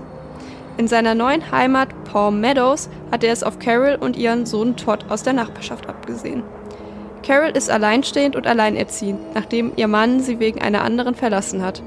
Der Ex-Mann sehnt sich, der Ex-Mann sehnt sich jedoch nach einer zweiten Chance, weshalb er von Jean aus dem Weg Kultur, geschafft war der. Ex-Freund, ne, das habe ich erst später kapiert. Das ist ein Ja, die anderer, waren das gar nicht Ex-Mann. verheiratet. Nee, nee, das ist, sie war verheiratet, aber das hier ist noch ein anderer Ach, das Ex-Freund. habe ich aber auch nicht gerafft. Ja, ja. Okay, na gut. Also, der Weg ist nun frei und Jean macht Carol einen Heiratsantrag. Aber da ist noch Carols neugierige Freundin Matty, die als Postbotin arbeitet und damit an der Quelle sitzt. Carol ignoriert die Warnung ihrer Freundin. Matty findet letztlich raus, dass Jean wirklich ein Betrüger ist, der eine falsche Identität angenommen hat. Jean verspricht, dass er Carol reinen Wein einschenkt, doch das tut er nicht. Stattdessen bringt er Matty in ihrem Haus um. Sein Lieblingslied, Lied Camptown Races, pfeifend verschwindet Jean vom Tatort, wird dabei aber von einem blinden Mann gehört. Dieser erzählt Carol von der Tatnacht. So richtig will niemand an den Suizid Mattys glauben. Dann ist der Tag der Hochzeit gekommen, doch Carol findet heraus, dass Jean ihr in der Todesnacht vor Matty Wein mitgebracht hat, den auch Matty zu ihrem Geburtstag bekam. Außerdem hört sie ihren Sohn Todd das Camptown Races Lied pfeifen. Carol geht ein Licht auf und sie konfrontiert Jean. Dieser rastet aus und greift Carol und ihren Sohn an. Während die Hochzeitsgäste bereit warten, kommt es zum Kampf um Leben und Tod, den Carol und Todd am Ende jedoch gewinnen. schöne, schöne Typo drin. Carol und Toad. Ja. ähm, ja, Pascal. Erstmal danke, Theresa. Äh, Pascal, auch hier wieder äh, fangen wir vielleicht auch mit den Opening Credits an. Wenn, die haben für mich äh, tatsächlich fast schon ein kleines Highlight zu bieten, in dem äh, ja dort mit so also es wird dort eine Suburban, die wir schon im ersten Teil beschrieben haben, also eine Vorstadt, so mit Haus und Familienwohner drin, Mutter, Vater, Kind. Und äh, anhand von Miniaturen nachgestellt. Das fand ich irgendwie ziemlich cool. Mm, mm. Ja, definitiv. Äh, eine, äh, ja. Nette. Kreative und coole Idee. ja, nette Idee trifft es ganz gut. Dann gibt es einen Rückblick auf Teil 1 und äh, dann sehen wir, dass Jerry offenbar, wie durch ein Wunder, überlebt hat und nun im Sanatorium Mhm. sitzt. Er tötet seinen Psychiater und nach 13 Filmminuten gelingt ihm die Flucht. Wie plausibel fandst du das? Wie wichtig war dir das, ob das plausibel ist und wie fandst du den Anfang? Mm, Also diesen kleinen, ja, Sanatorium-Part. Per se fand ich ihn ganz nett, weil wir jetzt nochmal so ähm, quasi Jerry dann nach dem ersten Teil in der neuen Umgebung wahrnehmen. Er ist halt nicht mehr Herr der Lage oder auch gar nicht mehr großartig fähig dazu, äh, irgendwas zu kontrollieren.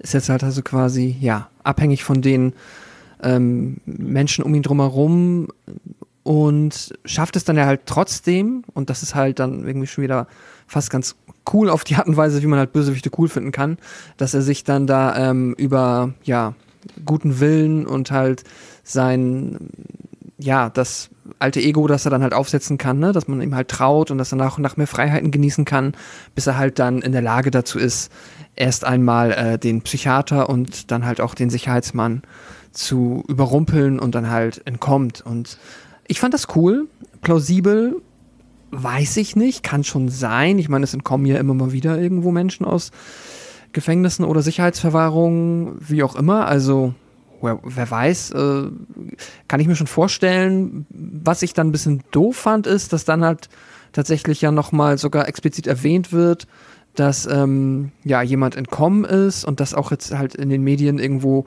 bekannt ist und dass das dann aber im Film nie wieder großartig aufgegriffen wird und da sind wir dann jetzt schon bei dem Punkt, den ihr auch eben angesprochen habt oder den du angesprochen hast, dass jetzt halt hier dann ähm, es eigentlich noch viel logischer erscheinen würde, so eine Art Gym zu haben oder einfach, sagen wir mal, einen Polizistenplot oder einen Ermittlerplot äh, und der ist dann halt, ähm, kommt halt nicht so. Also es, er entkommt und dann scheint die Welt damit auch in Ordnung zu sein, dass er entkommen ist. Ja. Er muss sich, ähm, und auch das ist etwas, was Teil 3 dann später mal nochmal aufgreift, ohne zu spoilen. Er muss sich auch nicht irgendwie optisch großartig verändern.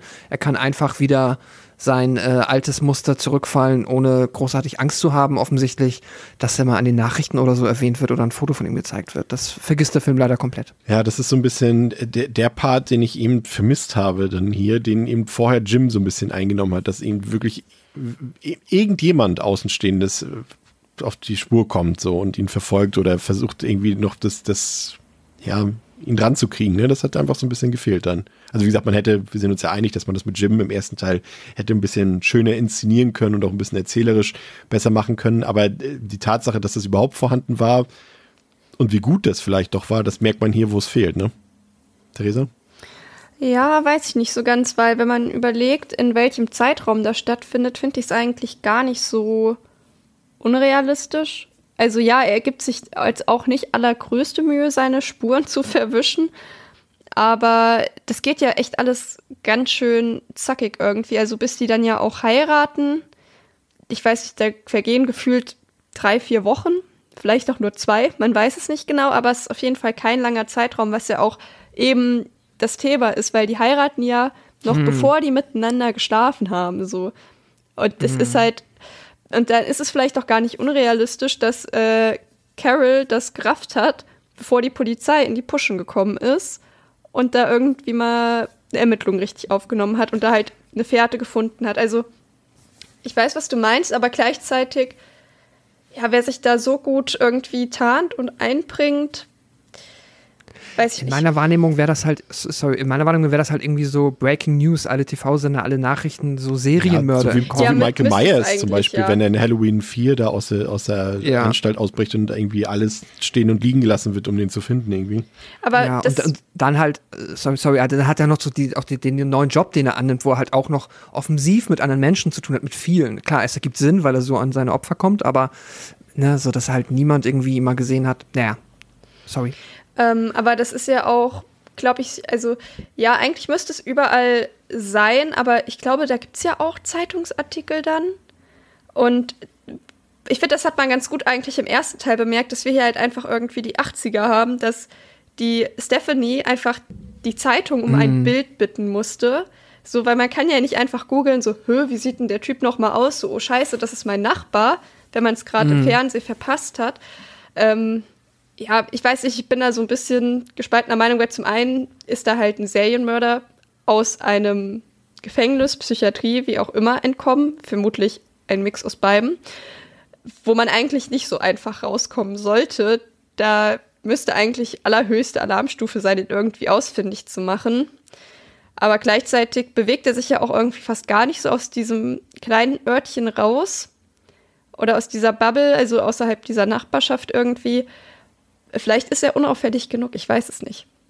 Aber ja, was wir halt diesen Teil halt wirklich auch haben, dass er sich optisch fast gar nicht verändert, weil am Anfang vom ersten Teil hat er halt wirklich lange Haare und einen zotteligen Bart. Es kommt alles komplett ab. Er sieht wirklich danach anders aus. Und hier ist es halt offensichtlich die gleiche Person. Ja, er tritt dann als Eheberater auf, hat also quasi dann auch, oder als, als Familieneheberater, wie auch immer, äh, und hat dann irgendwie gefühlt die freie Auswahl an Frauen, an die er sich rangraben kann und ähm, entscheidet sich dann für Carol. Ähm, hier ist dann zumindest ein bisschen frischer Wind drin, äh, Pascal, denn dort ist noch der, ja, wie auch immer, ich glaube, es ist der, Nee, warte mal, im dritten Teil ist es der Ex-Freund, ne? Stimmt, genau, Theresa. Es war, ich nehme alles zurück. Im dritten mhm. Teil ist es der Ex-Freund, der sich meldet. Hier ist es ja der Ex-Mann gewesen, weil der spielt ja noch eine größere Rolle hier. Und ähm, der will Carol zurückgewinnen noch. Und äh, damit hat Jerry quasi auch noch ein, ein ja, geschlechtsinternes Duell um seine Angebetete. Und das fand ich wiederum äh, durchaus interessant, auch wenn ich nicht fand, dass dieser Ex-Typ so wirkte, als, äh, als würde er schon mal mit Carol zusammen gewesen sein, auch von seinem, von seinem Typus her nicht irgendwie. Äh, ähm, ja, ich sag einfach mal ja, ich weiß nicht, an wen das gerichtet war. Ach so.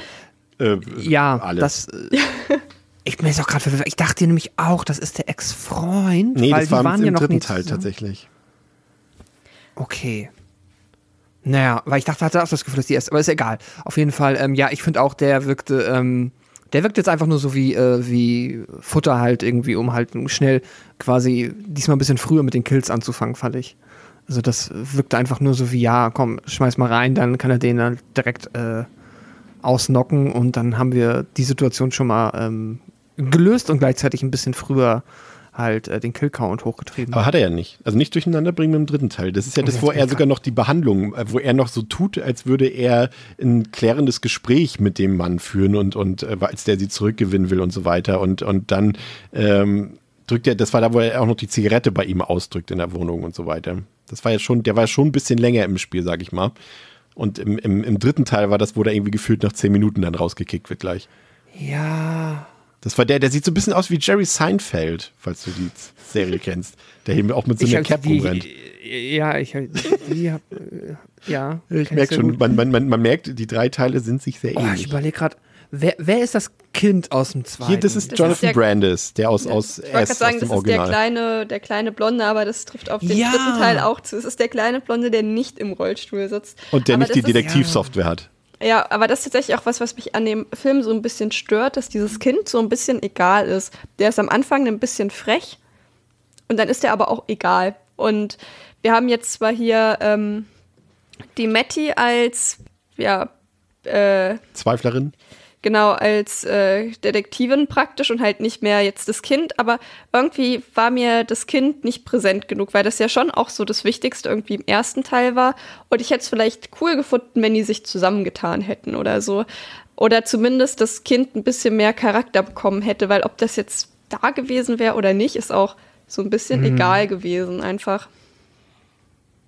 Ja, ich finde auch, das ist das, äh, obwohl es eigentlich fast der bekannteste Kinderdarsteller der Reihe ist mit Jonathan Brandis. Also der hat, wie gesagt, ja den einen in S gespielt aus dem Original, aus der Fernsehproduktion. Unendliche Geschichte 2 hat er gespielt oder Sidekicks mit Chuck Norris. Bekommt er tatsächlich am wenigsten Gefühl zu tun irgendwie. Ne? Das ist schon ein bisschen, ähm, da war diese Szene mit dem Baseball, ne, die auch ein bisschen, du musst den Ball frontal werfen, nur dann fliegt er gerade oder irgendwie sowas, was die da, Ja. da so. Aber das ist auch die einzige Szene, ehrlich gesagt, gerade an die ich mich erinnern kann, in die der Sohn irgendeine Rolle spielt. Also es ist hier, die, die Na, Matty äh, ist hier schon wichtiger irgendwie.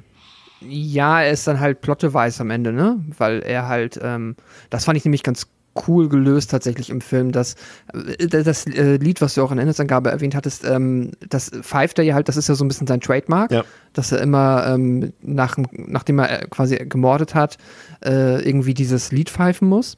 Und das ist halt dann hier der Gag, dass äh, der Sohn das mal mitbekommt, dann lernt er es auch und später der blinde Nachbar hört dann ja, dass äh, dieses Lied gepfiffen wird und dann ähm, kann die Mutter am Ende, kurz bevor es zu spät ist, bevor es zur Hochzeit kommt, dann halt eins und eins kombinieren und das ist dann halt eigentlich ganz clever gelöst, ganz nett gemacht, auch wenn man es halt in dem Moment, wo man halt äh, mitbekommt, dass der Nachbar das rafft, äh, kann man sich denken, worauf es hinausläuft, aber ja, dafür war der Junge dann immerhin noch da. Ja, ansonsten, ähm, hier wird es ein bisschen brutaler, würde ich sagen. Also wir haben ja auch ein paar Kills, die dann doch ein bisschen zeigefreudiger sind. Ne? Zum Beispiel, wie gesagt, der Kill an dem, an dem Ex-Mann von Carol, als, als Jerry dort, oder Gene nennen, wie heißt er jetzt? Ich bleib trotzdem bei Jerry. Als er ihn dort, obwohl Jerry ja auch wahrscheinlich nur schon eine falsche Identität war, aber ähm, als er ihn dort mit der Flasche dort äh, zur Strecke bringt und das wird dann doch ein bisschen härter, ein bisschen blutiger, muss ich sagen, fand ich auch ziemlich gut. Hat noch so ein bisschen diesen leichten Sleaze-Faktor für mich so reingebracht. Ich finde ja eh, wie gesagt, die, die Reihe so von ihrer Grundausstrahlung relativ schmuddelig, auch wenn sie ja irgendwie keine obszönen Sexszenen oder irgendwie sowas haben oder wie gesagt auch kein Splatter oder sowas, aber irgendwie haben sie was Schmuddeliges an sich, irgendwie, was auch ein bisschen was Seifenopige, op, Seifenoperiges. Ähm, und der Kill war ziemlich gut und ähm, ich mochte tatsächlich den Humor hier ein bisschen mehr. Also ich finde, der ist generell ein bisschen witziger als der erste Teil. Und mein Lieblingsgag ist der, als äh, Matty ihn später überführen will und, und sagt, ja, du hast doch hier und da und so studiert und hast doch in der Basketballmannschaft gespielt. Und er sagt so, ja, genau, habe ich. Und äh, warum finde ich dich denn nicht auf dem Foto von der Mannschaft? Und er sagt so irgendwie, ja, irgendwie, ich war da unauffällig oder sowas. Und sagt so, so unauffällig? Und dann zeigt sie halt ein Bild, wo halt ein komplett schwarzes Basketballteam zu sehen ist. Und er dann halt auch wirklich keine Ausrede mehr hat, warum er. das fand ich wirklich witzig. Komm, das war witzig. Ja, definitiv. Das war mit der beste Gag. Matty eh eigentlich ganz cool. Carol, Caroline Williams, ne, hatten wir auch schon. Texas Chainsaw Massacre 2 und Hatchet 3.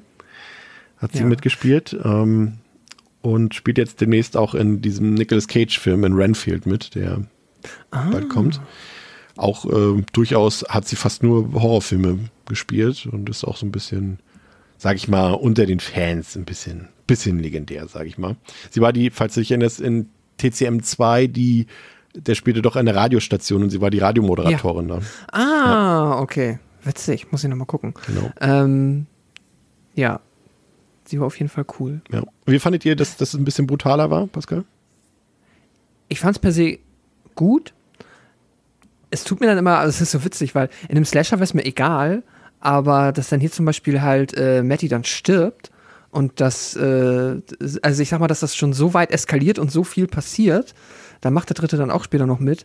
Äh, Finde ich ja echt schlimm. Das ist irgendwie, tut es mir halt hier, weil es irgendwie so ein, äh, die, Filme für mich in, nicht in diesem klassischen Slasher-Genre passieren, ist das halt, finde ich, echt schon dramatisch. Und das ist dann halt auch, ab dem Zeitpunkt ist halt irgendwie so die Idee eines Happy Ends für mich äh, abgelaufen. Ähm, und auch wenn es dann ja am Ende zumindest dann äh, Mutter und Kind äh, schaffen, ihm zu entkommen und ihn abermals zur Strecke zu bringen, äh, ist dann halt, äh, ja, schon quasi eine andere Protagonistin einfach wieder draufgegangen und das äh, tut weh, aber natürlich jetzt äh, rein für den, ähm, ja, äh, also ja, Gore kann man ja nicht sagen, aber was die Brutalität angeht, das natürlich dann auf der Ebene wieder mehr unterhaltsam, ja. Also fand ich okay. Theresa, Ja. du das? Ja, ich mochte vor allem Matty eigentlich auch sehr gerne, weil sie halt auch einfach ziemlich smart war. Sie hat relativ früh gerafft, dass der Typ kein Psychologe sein kann. Also, dass da irgendwas faul ist anhand, wie er halt zuhört und was er für Antworten gibt, dass es einfach vorne und hinten nicht stimmen kann. Und dass sie dem dann halt auch irgendwie echt schlau nachgeht und das fand ich schon cool und halt auch so, wie mutig sie ist, ihn dann halt damit zu konfrontieren. Äh, ja, fand ich sehr gut und ich stimme auch Pascal zu, das war nicht cool, als die gestorben ist. Ähm, zumal es ja auch weiter noch Relevanz hat, weil ja eben auch Carol, das war ja Carols beste Freundin, Ja, ja. ähm, da ja auch drunter zu leiden hat. Und ja, dann überlebt sie es vielleicht, aber die gute Matty bleibt leider tot und die beste Freundin ist halt auch dann für immer verstorben. Und das ist halt auch irgendwie traurig. Aber weil wir hier halt auch dann eine richtig sympathische Figur irgendwie bekommen haben, wo es dann halt auch irgendwie einfach weh tut. Das macht dann, finde ich, halt irgendwie auch wieder so den, also so einen theoretischen Feelgood-Faktor für mich raus. Also ich finde es jetzt halt nicht per se schlimm, dass das passiert ist. Also schlimm im Sinne von, äh, kreide ich den Film nicht negativ an.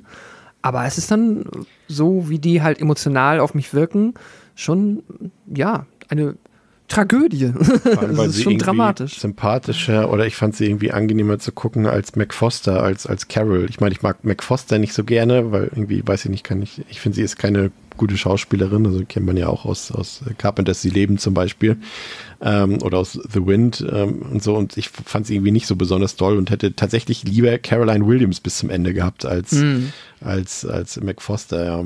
Das Aber das gibt die Rolle halt, finde ich, auch gar nicht her, weil sie, also ich glaube nicht, dass in der Rolle von Carol irgendjemand anders sie zu einer authentischen Figur hätte machen können, Nee. weil es schon auch eine sehr naiv geschriebene Rolle ist, die ich persönlich überhaupt nicht nachvollziehen kann, warum man irgendwie so einen dahergelaufenen Typen nach drei Wochen irgendwie heiratet. Mm, also ja. das ist schon alles sehr, sehr drüber irgendwie und dann halt auch nicht nachvollziehbar. Und das fand ich halt im ersten Teil so ein bisschen besser, dass man nicht so ganz das Gefühl von Zeit hatte und die schon auch mehr Mhm. wie eine Einheit gewirkt haben. Und hier kann man sich das halt überhaupt nicht vorstellen, dass die irgendwann mal richtig zusammenwohnen irgendwie. Ja, weil das halt einfach diese, fremde diese Leute Diskussion sind. da, die du vorhin schon angesprochen hattest, äh, diese, der, von wegen kein Sex vor der Ehe oder was die da noch da hatten und so. Und dann denkst du auch so, ja komm, also ja, ich verstehe schon, dass hier auch der Jerry so ein bisschen der Transporteur des extrem konservativen äh, äh, republikanischen Menschenbildes ist, äh, äh, des amerikanischen, aber das war, war dann noch Er- er hat ja nicht mal ja mehr ein nicht, Er wird religiöses ja auch nicht als, genau, ja. Also wenn das zumindest jetzt irgendwie was äh, religiöses wäre oder so, da wäre es ja mal was anderes. Aber ich habe tatsächlich sehr viel, also Chris, du hast ja glaube ich auch Sex in the City geguckt, alle Folgen. Ja. Weiß nicht, Pascal, ob du auch, aber ich musste da an den Plot von Charlotte und, ah, wie hieß er denn jetzt? Ähm, Ach Gott. Ja, ich weiß aber, was du Und meinst. die heiraten ja. auch und dann kommt so ein paar Wochen so, später ja, in der Folge weiß, so raus, ja, wir hatten noch nie Sex. Und alle anderen waren so, ihr hattet noch nie Sex und habt Und geheiratet. Und dann funktioniert es halt auch nicht. Und so ein bisschen habe ich mich auch so gefühlt, dass ich mir dachte, du kannst den doch so nicht einfach heiraten, weißt doch gar nicht, ob das vibet. So. Aber das ist halt auch dieses überzeichnete, vulnerable irgendwie, ne? Also das, Ja. ähm, hier merkt man es, ich finde, bin auch bei dir, ich finde, hier wirkt es halt irgendwie noch unverständlicher, aber vielleicht einfach so jetzt für uns, weil wir nicht aus dieser Zeit sind. Ich weiß es nicht. Vielleicht war es, so blöd gesagt, vielleicht war es damals so oder in dieser Zeit in den USA, dass man dann einfach gesagt hat, ähm, ja, let's go, I don't know, ähm, ist ja scheinbar Ähm, auch vielleicht einfach dadurch, dass er halt ja auch diese, hier wieder ja einen Beruf hat, der jetzt ja irgendwie auch erstmal seriös und auch halt, ähm, ja, wie, wie sagt man jetzt nicht edel, aber halt schon einen, guten Job hat irgendwie. Vielleicht wirkt das einfach Ja. wie eine sichere Bank und äh, ob dann der Sex gut ist, so.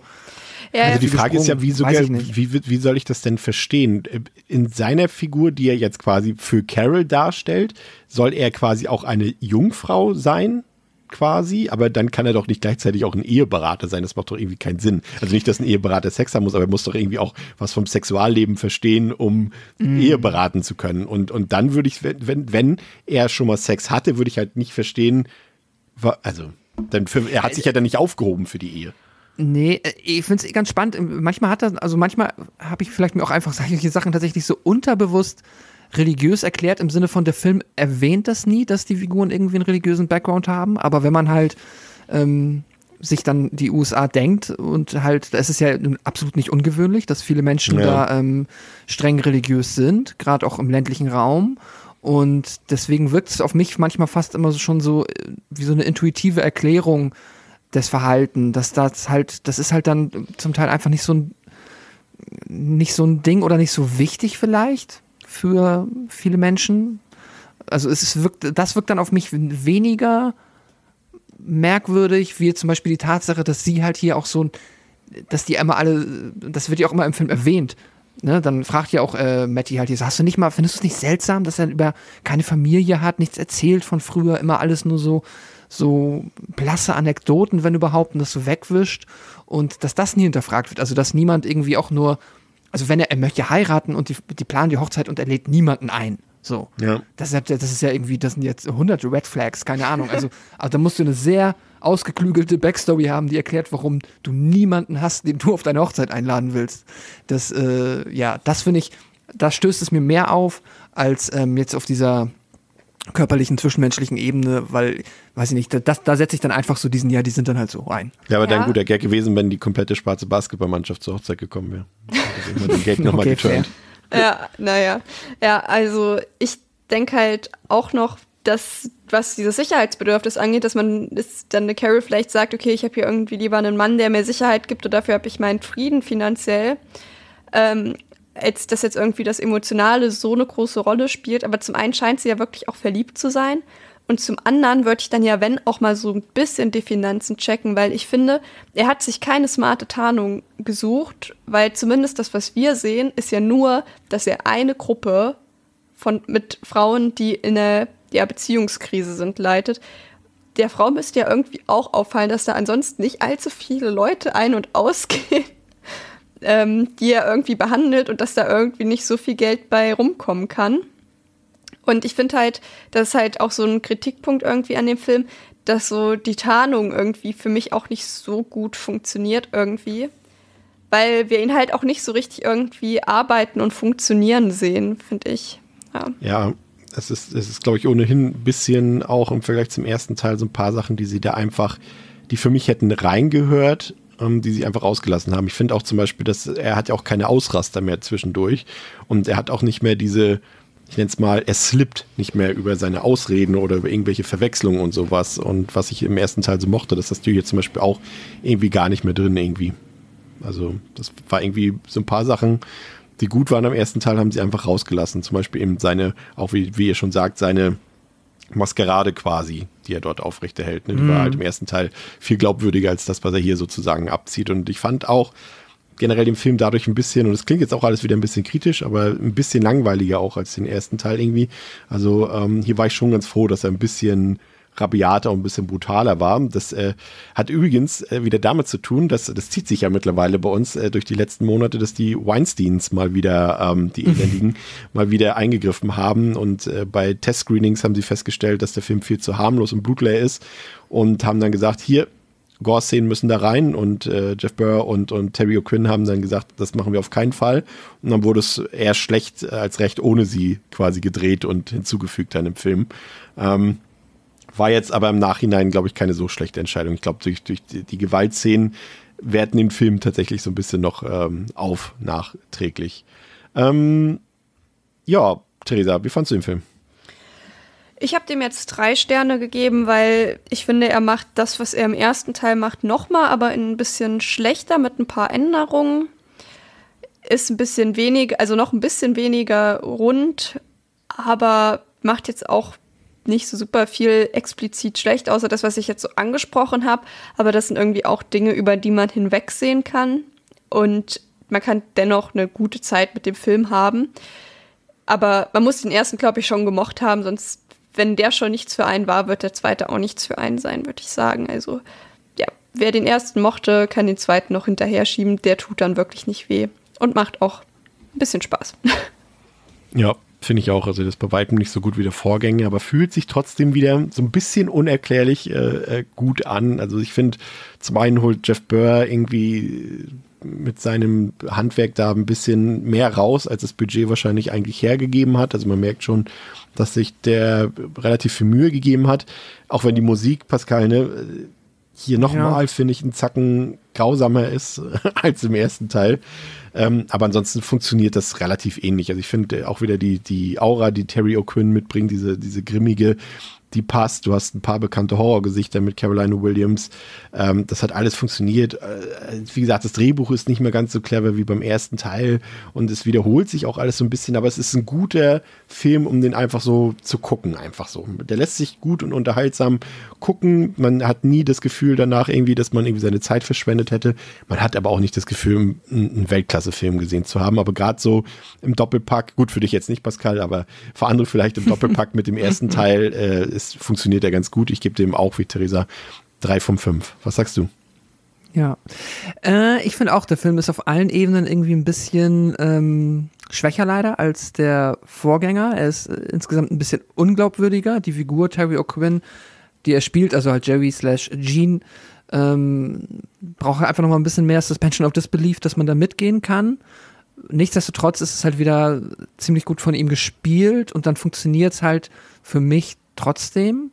Aber auch hier ist es wieder für mich so, ich finde halt, ah, das ist vielleicht wirklich ein Großteil einfach der Soundtrack. Ich weiß es nicht. Ich muss beim nächsten, also vielleicht gucke ich die nochmal oder achte ich nochmal drauf, aber ich finde wieder, der hat dieses melancholische und äh, das, was mich so ein bisschen runterzieht. Oder es ist einfach diese Situation, die mir irgendwie einen Schauer über den Rücken jagt, keine Ahnung.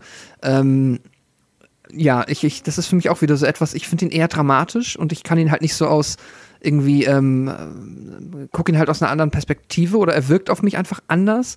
Deswegen ich dann auch manche Sachen einfach tragisch finde, halt, wenn auf einmal die Freundin stirbt. Und deswegen ist dann mir auch irgendwie kein Happy End. Nichtsdestotrotz freue ich mich natürlich dann noch drüber, dass äh, Carol und ihr Sohn halt überleben. Ähm, ja, also es ist halt wieder ein Film, der mich für über die Spannung funktioniert, darüber, wie er jetzt in seiner neuen Umgebung es irgendwie schafft halt oder versucht wieder sein Ideal einer perfekten Familie äh, aufzubauen und halt ja alles um drum herum irgendwie ähm, so zu beeinflussen, dass es klappt. Und dann ist halt Matty da, die halt auch, auch Matty ist so ein bisschen das, finde ich, äh, die Figur, die halt am positivsten heraussticht, die halt dann einfach Kontra gibt und auch cool ist einfach in ihrer Art und Weise. So, sie macht Spaß tatsächlich in dem Film. Also da ähm, kommt dann für mich am ehesten noch der Fun-Faktor irgendwie heraus. Ich habe ihm auch drei Sterne gegeben und ähm, ja, wenn man auch, ich bin da komplett bei euch, wenn man mit dem ersten schon gut was anfangen konnte, dann sollte man sich den zweiten, finde ich, auf jeden Fall noch angucken. Ja, ähm, HBO hat sich 1992 gedacht, ah, das können wir nicht sterben lassen. Wir holen uns die Rechte dafür und drehen noch einen dritten Film fürs Pay-TV eben, also für HBO und hat dann Stepfather 3 nachgelegt. Der hat auf Letterboxd eine 2,3 von 5, auf der IMDb eine 4,6 von 5, hat 1,8 Millionen Dollar gekostet. Ähm, es gibt tatsächlich keinen, also es gibt eine alte DVD-Box, wo alle Teile drin sind, die werdet ihr aber wahrscheinlich nicht mehr finden. Und ansonsten gibt es keine Möglichkeit, den Film irgendwie käuflich zu erwerben. Ihr könnt ihn auf YouTube gucken oder eben ähm, mit Theresas Vorschlag auf Tubi gucken. Ist ab 18 freigegeben, läuft 110 Minuten und wurde gedreht von Guy Magar oder Majar, ich weiß es nicht genau. Den kennen wir schon, der hat nämlich auch Children of the Corn Revelation gedreht, ähm, hat ansonsten auch noch Retribution gemacht, ist ja auch noch ein ganz netter Film. Und Pascal erzählt uns jetzt, worum es im dritten Teil geht. Serienkiller und Heiratsschwindler Jerry, alias Gene, hat die Wunden mal wieder überlebt und sucht einen Chirurgen auf, der sein Aussehen so sehr verändern soll, dass ihm gewiss niemand mehr auf die Spur kommen kann. Das gelingt. Anschließend tötet der nun als Keith auftretende Verbrecher den Doktor und zieht nach Deerview, wo er sich ein Häuschen mietet und als Gärtner arbeitet. Bei einem Osterfest lernt er die geschiedene Schuldirektorin Christine und ihren psychosomatisch gelähmten Sohn Andy kennen. Die beiden beginnen sich zu treffen. Der nervige Ex-Freund Christines wird vorher noch mit einer Schaufel umgebracht. Nun kann schon direkt geheiratet werden. Stiefsohn Andy ist kein großer Fan seines neuen Familienoberhauptes. Deshalb darf er den Sommer bei seinem leiblichen Vater verbringen. Zu einem echten Familienleben gehört für Keith auch selbst leiblicher Vater zu werden, doch Christine stellt sich als unfruchtbar heraus, weshalb er sich bereits an eine andere Frau namens Jennifer mit ihrem Sohn heranmacht. Stiefsohn Andy kommt Keith jedoch dank seiner Detektiv-Computer-Software auf die Schliche. In der Folge kommt es zu mehreren merkwürdigen Vorkommnissen. So spricht Keith Andy mit dem Namen Nikki an. Das ist der Name des Sohnes seiner neuen Angebeteten. Als diese am nächsten Tag in der Schule aufkreuzt, um Nikki bei Direktorin Christine anzumelden, ist das Chaos perfekt. Keith gerät in Panik. Und dann tritt auch noch Pater Ernest in Erscheinung, der sich bestens mit Stiefsohn Andy versteht und für diesen Nachforschung anstellen soll. Keith drängt den Pater auf dem Heimweg nach einem Essen von der Straße ab. In der Gärtnerei kommt es dann zum Showdown zwischen Christine, Jennifer und Keith. Er schafft es, beide Frauen zu schwer zu verletzen, doch im letzten ja, Moment schafft es Andy. Aus, ja, okay. Äh, schwer zu verletzen, doch im letzten Moment schafft es Andy, urplötzlich aus seinem Rollstuhl aufzustehen und Keith in den Pflanzenhäcksler zu werfen, so dass dieser zerstückelt wird. Da hilft auch keine Schönheitschirurgie mehr. Ja, ähm, wo sollen wir anfangen, Theresa? Die Storyline mit äh, der plastischen Chirurgie macht irgendwie schon Sinn äh, wenn man den Beweggrund kennt, dass wir eben einen anderen Hauptdarsteller jetzt haben. Also Terry O'Quinn spielt das hier nicht mehr. Robert Whitman, äh, den kennt man vielleicht aus American Gigolo, äh, der spielt jetzt äh, die Hauptrolle, so viel sei schon mal verraten. Der macht seine Sache nicht schlecht, aber er ist für mich überhaupt kein Ersatz für Terry O'Quinn. Und dann muss man sich natürlich was einfallen lassen, wenn man ein direktes Sequel drehen wird, weil ein neuer Stepfather macht irgendwie auch keinen Sinn. Also Gesichts-OP und anschließend direkt ein saftiger Kehlenschnitt für den Doktor. Da haben wir gleich mehrere Sachen zu diskutieren. Zum einen eben die neue Besetzung, die Herleitung mit der Chirurgie und Theresa, ihr habt doch schon drastischen Splatter. So im Verhältnis ja. zum Rest der Serie. Ja, also ich finde auch, der neue Stiefvater ist okay. Ist halt immer schwierig, so eine Person, die halt die Filme davor irgendwie getragen hat, zu ersetzen. Aber gut, ich hatte jetzt ja auch nicht so super hohe ähm, Anforderungen. Ich fand es halt eigentlich viel lustiger, dass halt am Anfang dieser Chirurg, das halt so ein Typ, so der raucht halt, während der das macht. Der hätte eigentlich, mhm. also, dass der nicht an irgendeiner Infektion gestorben ist, das ist eigentlich eher das Ding, das ist höchst höchstgradig, hochgradig, wie auch immer, nee, höchstgradig, unwahrscheinlich. Ähm, das fand ich schon ein bisschen lustig irgendwie und deswegen habe ich auch erst gar nicht gerafft, was der da so richtig macht. Das der wirklich an dem richtigen, an seinem richtigen Stepfather darum doktert, weil ich mir nicht vorstellen kann, dass die Person unter den Umständen noch lebt.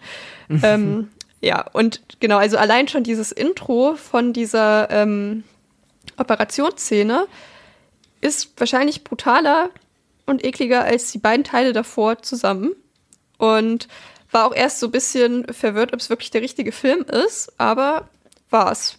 Hatte ich noch eine okay. Frage vergessen? Nee, passt. Gut. Ja, ich fand's irgendwie, also die ganze, ich hatte das gleiche, was du hattest, Theresa. Ich musste auch erstmal gucken, ah ja, ist das der richtige Film? Auch mit diesem Blaufilter am Anfang. Der hat so krass stilisiert. Wirkt jetzt irgendwie überhaupt nichts, was irgendwie sonst ins, äh, ich nenne es mal Franchise passt. Äh, hat sich durchaus seltsam angefühlt. Äh, Hast du, und hat halt jemand den Film von euch auf YouTube geguckt? Mm, -mm. Äh, nee. Ach so, okay. Ja, ich habe ihn auf YouTube geguckt, aber noch weniger zu erkennen tatsächlich. Ich habe tatsächlich relativ viel erkannt fand ich. Also geht die Empfehlung zu Tubi mit VPN auf jeden Fall raus. Die ja. YouTube-Version ist echt schon sehr grenzwertig. Ja, ja, stimmt. Ähm, ja, und äh, war dann halt auch erst nach dieser Szene überzeugt, ah, okay.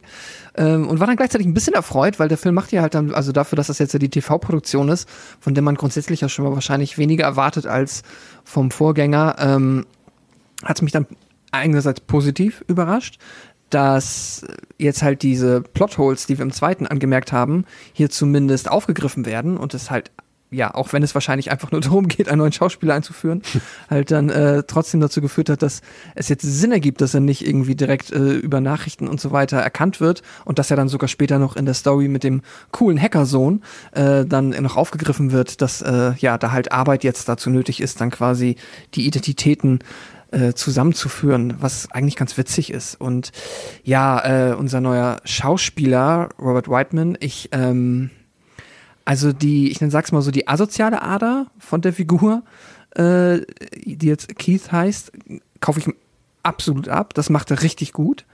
Ich bekomme ihn nur in der charismatischen, ich verführe jetzt hier die ja. äh, mhm. nächste alleinerziehende Mutter. Das geht überhaupt nicht, weil er ist leider halt er ist und vor allem, das sind jetzt auch nicht mehr diese, sorry, kurz für den äh, ja. Interruption. Ähm, vor allem, das sind jetzt auch nicht mehr, jetzt nicht zu ungut, aber es sind jetzt auch nicht mehr so diese, wie in den ersten beiden Filmen dargestellt, so diese End-30er, Anfang 40-jährigen Frauen, die sich dann vielleicht eben auch schon, die schon irgendwie, wie, sagt, wie ist diese Redewendung, die ihre Fälle davon schwimmen sehen? Nee. Ja, das kann Doch, man, kann man so sagen. sagen. Sondern hier ist es ja auch ne, eine etwas jüngere, blonde, attraktive Frau und auch die, die er sich nachher parallel dazu schon sucht, die sind ja schon auch so, dass sie sich, die, die es jetzt nicht, vielleicht nicht unbedingt nötig hätten, den erstbesten Gärtner, nichts für ungut, quasi sofort zu heiraten, so, ne? Ja, aber er ist ja auch noch mal zehn Jahre jünger geworden optisch, also von daher. aber ja, aber nur der Kopf nicht ja. der Körper. Ja, gut. Er, sieht halt, er sieht halt nicht alt aus, aber er versprüht doch einfach kein Charisma mehr. Ja. Und ja. das ist halt, und ich glaube, das sollte er aber, also äh, die Figur im Film, aber das wird halt leider dann von Robert Whiteman halt nicht, nicht transportiert und das macht es dann auf der Ebene leider arg unglaubwürdig. Und dazu ist der Film halt wieder stark dabei, das arg zu überzeichnen, wie leicht und wie schnell es ihm gelingt, nicht nur eine, dann sogar zwei ähm, ja, Frauen, die jetzt halt erstmal jetzt nur, ne, wenn wir jetzt mal sagen, nur von, vom Äußerlichen nach Normschönheit betrachtet irgendwie, es passt nicht wirklich gut zusammen. So, also fühlt ja, sich nicht realistisch das, an. Der, der Film hat, obwohl er teilweise echt quälend lange 110 Minuten geht, hat er so Phasen bei, die einfach so gerusht sind, dass man sich echt denkt, ob man jetzt wirklich irgendwie was verpasst hat, ne? Weil auf einmal ist die Hochzeit da und du denkst so, hä? Also ihr kennt euch doch jetzt wirklich erst seit zwei Wochen so. Äh, das fand ich äh, wirklich ein bisschen seltsam und ich fand es auch seltsam, wie der Film uns erst noch so ein, ja, so eine Art, wie sagt man, so ein Rätsel, Mysterium präsentiert, äh, weil wir am Anfang, nach der OP, wir sehen ja nicht sofort, wie, ähm, wie der Stepfather jetzt aussieht nach der OP. Es werden uns zwei Männer präsentiert. Äh, einmal der, der sich später als Keith empuppt, aber auch der Ex-Freund von, ähm, jetzt habe ich ihren Namen vergessen, von Christine. Und man weiß am Anfang, oder man soll am Anfang nicht wissen, wer von beiden jetzt nun der böse Stepfather ist. Und ich finde, das schafft der Film überhaupt nicht, dieses Rätsel mhm. aufzubauen, weil das anhand schon der Screentime und anhand der Zielweise von vornherein klar ist. Aber trotzdem will der Film das, dass wir am Anfang noch rätseln. Also ist nett gemeint, aber hat nicht so ganz funktioniert. Aber der Kill mit der Schaufel war dafür noch ganz nett. Aber dann, Theresa, das Filmkind. Für mich ein, eines der schlechtesten, einer der schlechtesten Kinderdarsteller, die ich je gesehen habe. Und dass man ihm dann diese Detektiv-PC-Software an die Hand gibt, das war mir ein bisschen zu obvious. Ich meine, ist der jetzt beim FBI oder was? Also ich fand tatsächlich den Subplot cool und hätte mir gehofft, äh, erwünscht, dass die Auflösung darüber auch erfolgt wäre. Ähm, man muss jetzt dazu sagen, der Junge sitzt jetzt aus äh, psychosomatischen Gründen äh, irgendwie im Rollstuhl und fand das eigentlich ganz cool, dass man ihm so irgendwie was gegeben hat, womit er irgendwie, ja, was er irgendwie total gut kann und weil das ja auch dann so ein bisschen der Konfliktpunkt zwischen Keith und dem Sohn halt eben ist. Jetzt habe ich schon seinen Namen gar nicht mehr auf dem Schirm, ist auch egal. Ach, Andy, genau. Ähm, dass er halt irgendwie nicht laufen kann und dass er irgendwie auch nicht so ganz in die perfekte Familie passt, wenn man kein Football mit seinem Sohn spielen kann, weil der halt nicht laufen kann. Und ich fand es eigentlich ganz charmant, dass er da irgendwie so ein bisschen der Hackerman ist und irgendwie Fälle gelöst hat. Also ist schon, ist es schon Schwachsinn irgendwie, aber eigentlich fand ich es ganz cool und ich hatte halt gehofft, dass das irgendwie maßgeblich zur Auflösung beiträgt oder vielleicht sogar ja für die, was heißt Endkampf, aber ja, das irgendwie, dass es nochmal mehr Relevanz auch wieder hat, auch dass es irgendwie dann wieder egal, dieser investigative Subplot, der ist irgendwie, ich fand den aber eigentlich echt ganz lustig, aber er ist leider egal. Ich hätte mir eher das gewünscht, als halt, ja, das relativ generische Ende, was wir dann bekommen haben. Ich, ich finde äh, spätestens, also diese Football-Szene ist ja sowieso erstmal komplett völlig neben der Spur. Also an Comedy kaum zu überbieten, aber als Keith, der noch sagt, du musst einfach, das liegt, nee, was sagt er zu ihm? Das ist, ist einfach nur psychologisch, du musst aufstehen, wie ein vernünftiger kleiner Junge Ja, durch die Gegend dich- laufen. Oder, Ja, oder muss was? sich einfach bemühen und dann geht das schon Ja. so mäßig. Und ab, ab Mm. diesem Satz war mir klar, Keith, das wirst du noch bereuen, dass du das jetzt gesagt hast. Also, weil ich finde, es ist so obvious, dass das später noch eine Rolle spielen wird. Ja. Ähm, ja. Aber Ja, es, absolut. ja. Pascal, dein, Achso. deine Kinder-Review. Achso. mm. Also ich fand ihn jetzt als Kinderdarsteller jetzt rein von der schauspielerischen Leistung irgendwie okay. Es gibt ja noch einen zweiten hier, dann halt der, der Nicky. Ähm, weiß ich nicht, äh, hat mich jetzt nicht groß, also sein Schauspiel hat mich nicht groß negativ, ja, ist mir nicht groß negativ aufgefallen. Die Figur ist halt gerade an dieser Hacker, diese Hackerman-Idee ist halt, wie Theresa auch gesagt hat, ist echt schwachsinnig, aber kann man sympathisch finden. Ich find's quirky witzig, weil es halt einfach so dieses, mag halt dann gerade diesen 90er ähm, ja, Internet, Computer mehr und mehr ein Ding, das irgendwie halt auch im äh, Privatleben äh, Relevanz erfährt und halt diese frühen Darstellungen davon, wie dann halt äh, ja Kinder oder was weiß ich dann halt so die Hacker-Kids dann da halt sitzen und sich irgendwie in die Datenbanken der der ähm, ja der Städte und Staaten da reinhacken, um dann da Sachen rauszufinden, ist halt ab, abstruser wird's nicht, aber es hat so einen gewissen Quirk, den ich irgendwie witzig finde. Das ist dann halt, ähm, ich glaube, das äh, Beste ist dann, wenn er am Ende diesen, ich kann nicht mal, ich kann nicht mehr nachvollziehen, was die Idee dahinter war, aber es gibt dann so eine Szene, da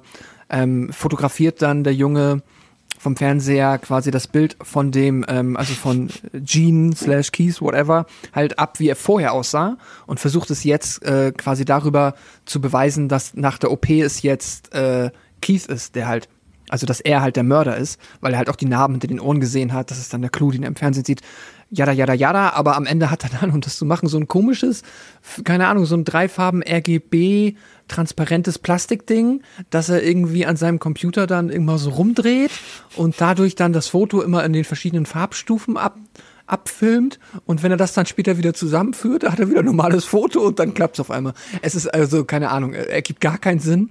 So, so ein irgendwie crazy Sci-Fi-Gadget sein, das komplett witzig ist. Also das finde ich lustig. Ähm, und ansonsten, es ist halt, der Junge tut mir halt echt leid, weil, ähm, und da ist jetzt halt aber eigentlich wieder die Figur, also halt vor allem auch der Schauspieler, äh, der Robert Whiteman für mich viel relevanter als der Junge selber, weil der konnte halt von jedem gespielt sein, weil diese dumme Football-Szene, ja, die ist ein bisschen comedy-mäßig, weil die echt auch unbeholfen aussieht, wenn er da aus dem Rollstuhl fällt. Aber es ist halt schon wieder so asozial, wie er sich verhält. Das ist halt auch so weit weg von der Figur aus dem ersten Teil, der ja dann wirklich noch ähm, pragmatisch nachvollziehbar charismatisch versucht hat, mit der Tochter zu connecten. Und hier ist es ja einfach wirklich nur noch so, ey, du bist im Rollstuhl, das ist offensichtlich nicht meine Vorstellung einer perfekten Familie. Du sitzt am Computer, das finde ich auch nicht gut. Wir müssen Baseball spielen, wir müssen campen gehen, wir müssen angeln gehen. Du musst ja aus diesem Rollstuhl raus. Deswegen bewerfe ich dich jetzt mit dem Football, bis es klappt. Es ist also so asozial, dass es halt ähm, echt bitter ist und das, ähm, also das hat der Film wieder geschafft, dass ich so richtig einen Hass auf die Figur von ähm, Keith habe. Aber Vor allem, äh, ja. Vor allem, weil sie auch das aus dem ersten Teil zurückgeholt haben, dass er sich dann auch mal des Öfteren verplappert, so das zwischendurch. Das fand ich dann halt auch wieder gut, dass sie das zurückgeholt haben. Was ein bisschen zu dieser, in Anführungszeichen, ich weiß gar nicht, ob man das, also jetzt dir gegenüber sage ich es jetzt unkritisch, aber ich weiß gar nicht, ob man asozial überhaupt noch sagt. Aber ich würde es jetzt in dem Fall auch benutzen, was zu seiner Asozialität noch dazu kommt, ist, dass er jetzt ja auch One-Liner benutzt nach jedem Kill, ne? Also falls euch das aufgefallen so. ist, er, er kommentiert ja jeden Kill immer noch mit so, einem- mit so einem typischen Freddy Krüger-Satz hinterher. Und das war auf jeden Fall auch noch neu. Ähm, was mich gewundert hat, ist ein bisschen, dass dass das passt nämlich nicht zum Terry O'Quinn ähm, Stepfather, dass ihm so ein bisschen die Cleverness abhanden gekommen ist, finde ich. Also du merkst, dass jetzt die Kills, die er dort hat, das sind alles Slash, so, so typische Slasher-Kills und nicht mehr diese im Vornherein geplanten Kills. Die passieren jetzt mehr aus dem Affekt raus, dass er den Ex-Mann mit der Schaufel verkloppt, dass er seinen Chef tötet, dass er, dass er äh, noch dem Pastor hinterherfährt und so weiter. Das sind alles keine geplanten Kills gewesen. der eigentliche Stepfather hat das immer mehr geplant und das fand ich ein bisschen seltsam und man merkt auch, dass er nicht besonders clever geworden ist. Ich meine, im zweiten Teil wurde er durch sein, das, das Pfeifen des Songs enttarnt und er pfeift ihn jetzt hier wieder. Also das ist schon ein bisschen, bisschen komisch, fand ich. Was meint ihr, Theresa?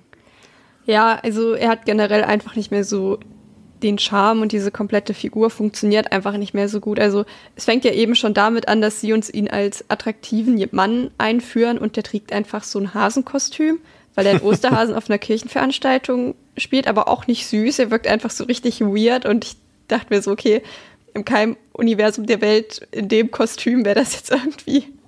Also ist schon alles ein bisschen komisch. Und ja, er ist einfach nicht so überzeugend, weil er halt eben diesen Charme nicht mehr hat, den er eigentlich bräuchte. Und ja, ich finde ihn auch nicht mehr sonderlich clever irgendwie. Er wirkt jetzt halt so sehr durchschnittlich, während unser alter Jerry immer sehr überlegen gewirkt hat, fand ich. Mhm. Und der wirkt halt wirklich wie so ein Basic-Typ. Und der, ich finde, er müsste einmal, mehr. Der würde nur einmal durchkommen mit der Sache und, und ja, nicht genau. ein zweites oder drittes oder viertes Mal Ja. wie der alte Stepfather. Der, der müsste mehr auf, den, auf dem Kasten haben, auf jeden Fall. Ja. Ja. Alleine wie er ja den, ähm, den Pater, also den, ähm, wie er ihn halt umbringt, nachdem er merkt, dass die ihm auf die Schliche kommen. Mit so einer riesen halt auf offener Explosion, ne? Ja, auf offener Straße. Also ich meine, das kannst du ja gar nicht planen. Ja. Das ist ja pures Glück, dass da niemand anderes ist, der vorbeikommt und die Polizei ruft. Äh, ich meine, das nett, dass sie dann das Trope nochmal durchziehen, dass sie halt jetzt wieder, dass er halt zum zweiten Mal dann quasi diesen äh, Autounfall dann inszeniert und darüber sagt, dass äh, der, äh, ja, der Geistliche, nenne ich ihn jetzt mal, gestorben ist. Aber davon bin ich, davon ab bin ich ja komplett bei euch. Er wirkt nicht mehr klug überlegen. Es sind immer auch Morde aus dem Effekt, von der Emotion halt auch getrieben und hat dann immer halt Glück, dass es bis zum Ende halt quasi mm, nicht klappt, auch wenn er, man, die also, seltsamste Szene der Welt, auch wenn er dann mit dem, mit der Axt nach oben geht, weil er halt jetzt keinen Bock mehr auf die alte Familie hat, weil der Sohn beim Vater ist. Und dann ist der Sohn aber wieder da, weil er angeblich Heimwehr hat und dann, äh, da schon mit der Axt in der Tür steht und sagt, oh, ach, der Sohn ist da. Nee, vor allem, Ja, er, er sagt ja noch, ach, Niki ist wieder da, äh, Andy. Ach ja, stimmt, genau. Ja, dann, dann gehe ich jetzt mal Holz hacken. Ja. Sagt auch niemand was. Ach so, Das okay. ist so ein bisschen, bisschen weird, ja. Ich finde, äh, was er ein bisschen mehr hat, sind die Horrorfilm-Elemente, weil er eben klar hier, deswegen auch wieder diese, diese, man kann sich nicht so explizit auf ein Genre einigen, auf ein Subgenre, finde ich. Hier ist er am ehesten ein Slasher, weil halt seine Kills eher Slasher-mäßig unterwegs sind. Ähm, fand das Ende noch ganz gut, den Showdown, dass eben beide Frauen, dass er mit beiden Frauen konfrontiert wird und die sozusagen zusammen gegen ihn arbeiten, hatte noch einen gewissen Charme und dass er am Ende im Häcksler landet, war auch ganz nett. Aber ansonsten, ich bin so gerade, was die Inszenierung angeht, so ein bisschen zwiegespalten. Zum einen finde ich, hat der auf der einen Seite deutlich mehr direkte Schauwerte im Vergleich zu den anderen beiden Filmen, weil hier gibt es eben mal eine Explosion, hier gibt es wirklich explizitere Kills, aber auf der anderen Seite ist der Film echt schwach inszeniert. Also ich finde, man merkt einfach die TV-Herkunft total. Man sieht auch, finde ich, das Editing, das ist immer in Schwarzblenden sehr oft endet. Da weißt du ganz genau, hier kommt in den USA damals bei HBO eine Werbepause oder sowas. Also das war irgendwie alles nicht ganz rund. Auch der Cast nicht, also auch die beiden Frauen so, ja, unauffällig. Priscilla Barnes äh, und Season Hubley, alles nicht so doll. Und wie gesagt, ich habe Terry O'Quinn sehr vermisst.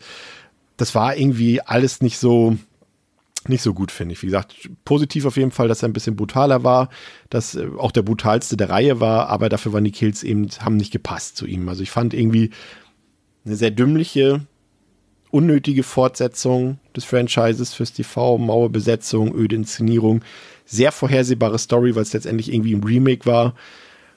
Ja, ich gebe dem so, weil er, ja, und er war auch zu lang, ne? aber ich gebe dem noch gerade so zwei von fünf, weil er hat noch einen gewissen Appeal noch. Ähm, aber er kann auf keinen Fall mit den ersten beiden Filmen mithalten. Pascal.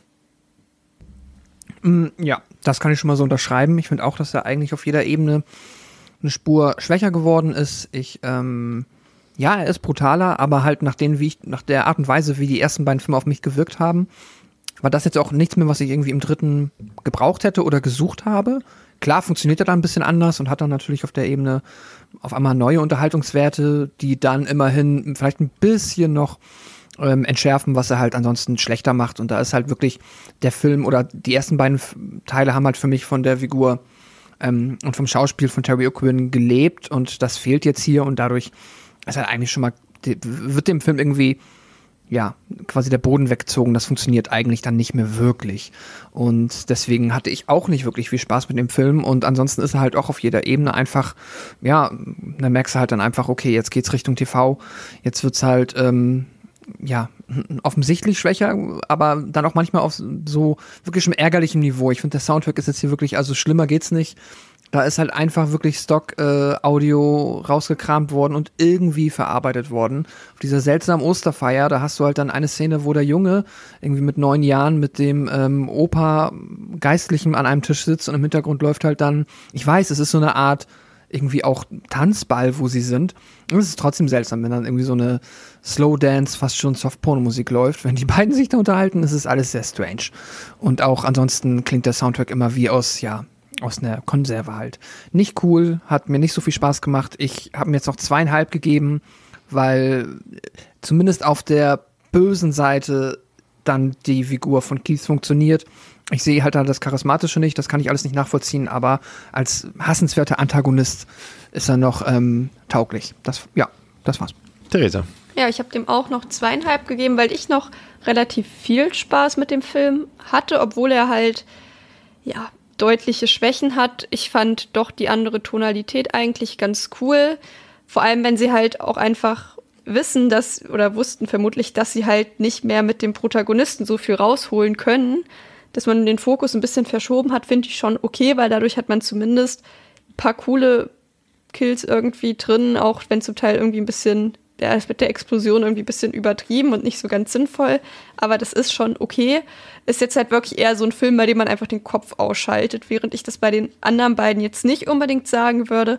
Aber bei dem dritten, da muss man einfach den Kopf ausschalten und das auf sich wirken lassen und einfach sich drüber freuen, damit man da eine gute Zeit mit hat und darf halt nicht so viel drüber nachdenken.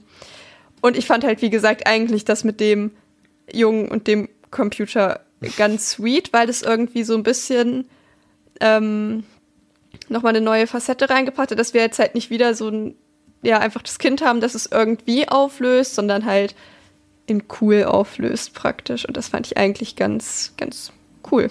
Ja, zweieinhalb. Vielleicht, vielleicht war ich einfach auch nur neidisch, weil ich das äh, früher auf Papier gemacht habe, mit so einer Detektivkartei und äh, kein Computer zur Verfügung hatte in dem Alter. Wahrscheinlich daran liegt's. Ja. Ja, das soll es quasi für heute gewesen sein. Nicht wundern, es gibt natürlich noch ein äh, Remake, ich glaube aus dem Jahr 2009. Äh, das haben wir uns jetzt gespart, äh, aus Gründen. Das, äh, falls wir irgendwann die Kategorie Best Worst Remakes einführen, dann äh, hat das Potenzial, noch eine Möglichkeit bei uns aufzutauchen. Ansonsten reden wir in der nächsten Woche über Touristas, ähm, ein Film aus der ja, aus der erfolgreichen Torture-Porn-Zeit der späten 2000er. Das wird äh, sicherlich auch spannend, wenn wir uns hier so ein bisschen Urlaubsflair ins nasse, kalte Deutschland holen. Ähm, danke, dass ihr zugehört habt. Entschuldigt meine Heiserkeit. Irgendwie ist meine Stimme heute so ein bisschen weg. Ähm, ja, seid beim nächsten Mal wieder dabei bei Devils Demons mit Theresa, mit Pascal und mit mir, mit Chris. Macht's gut und André nächste Woche dann auch wieder. Ciao. Ciao. Tschüss.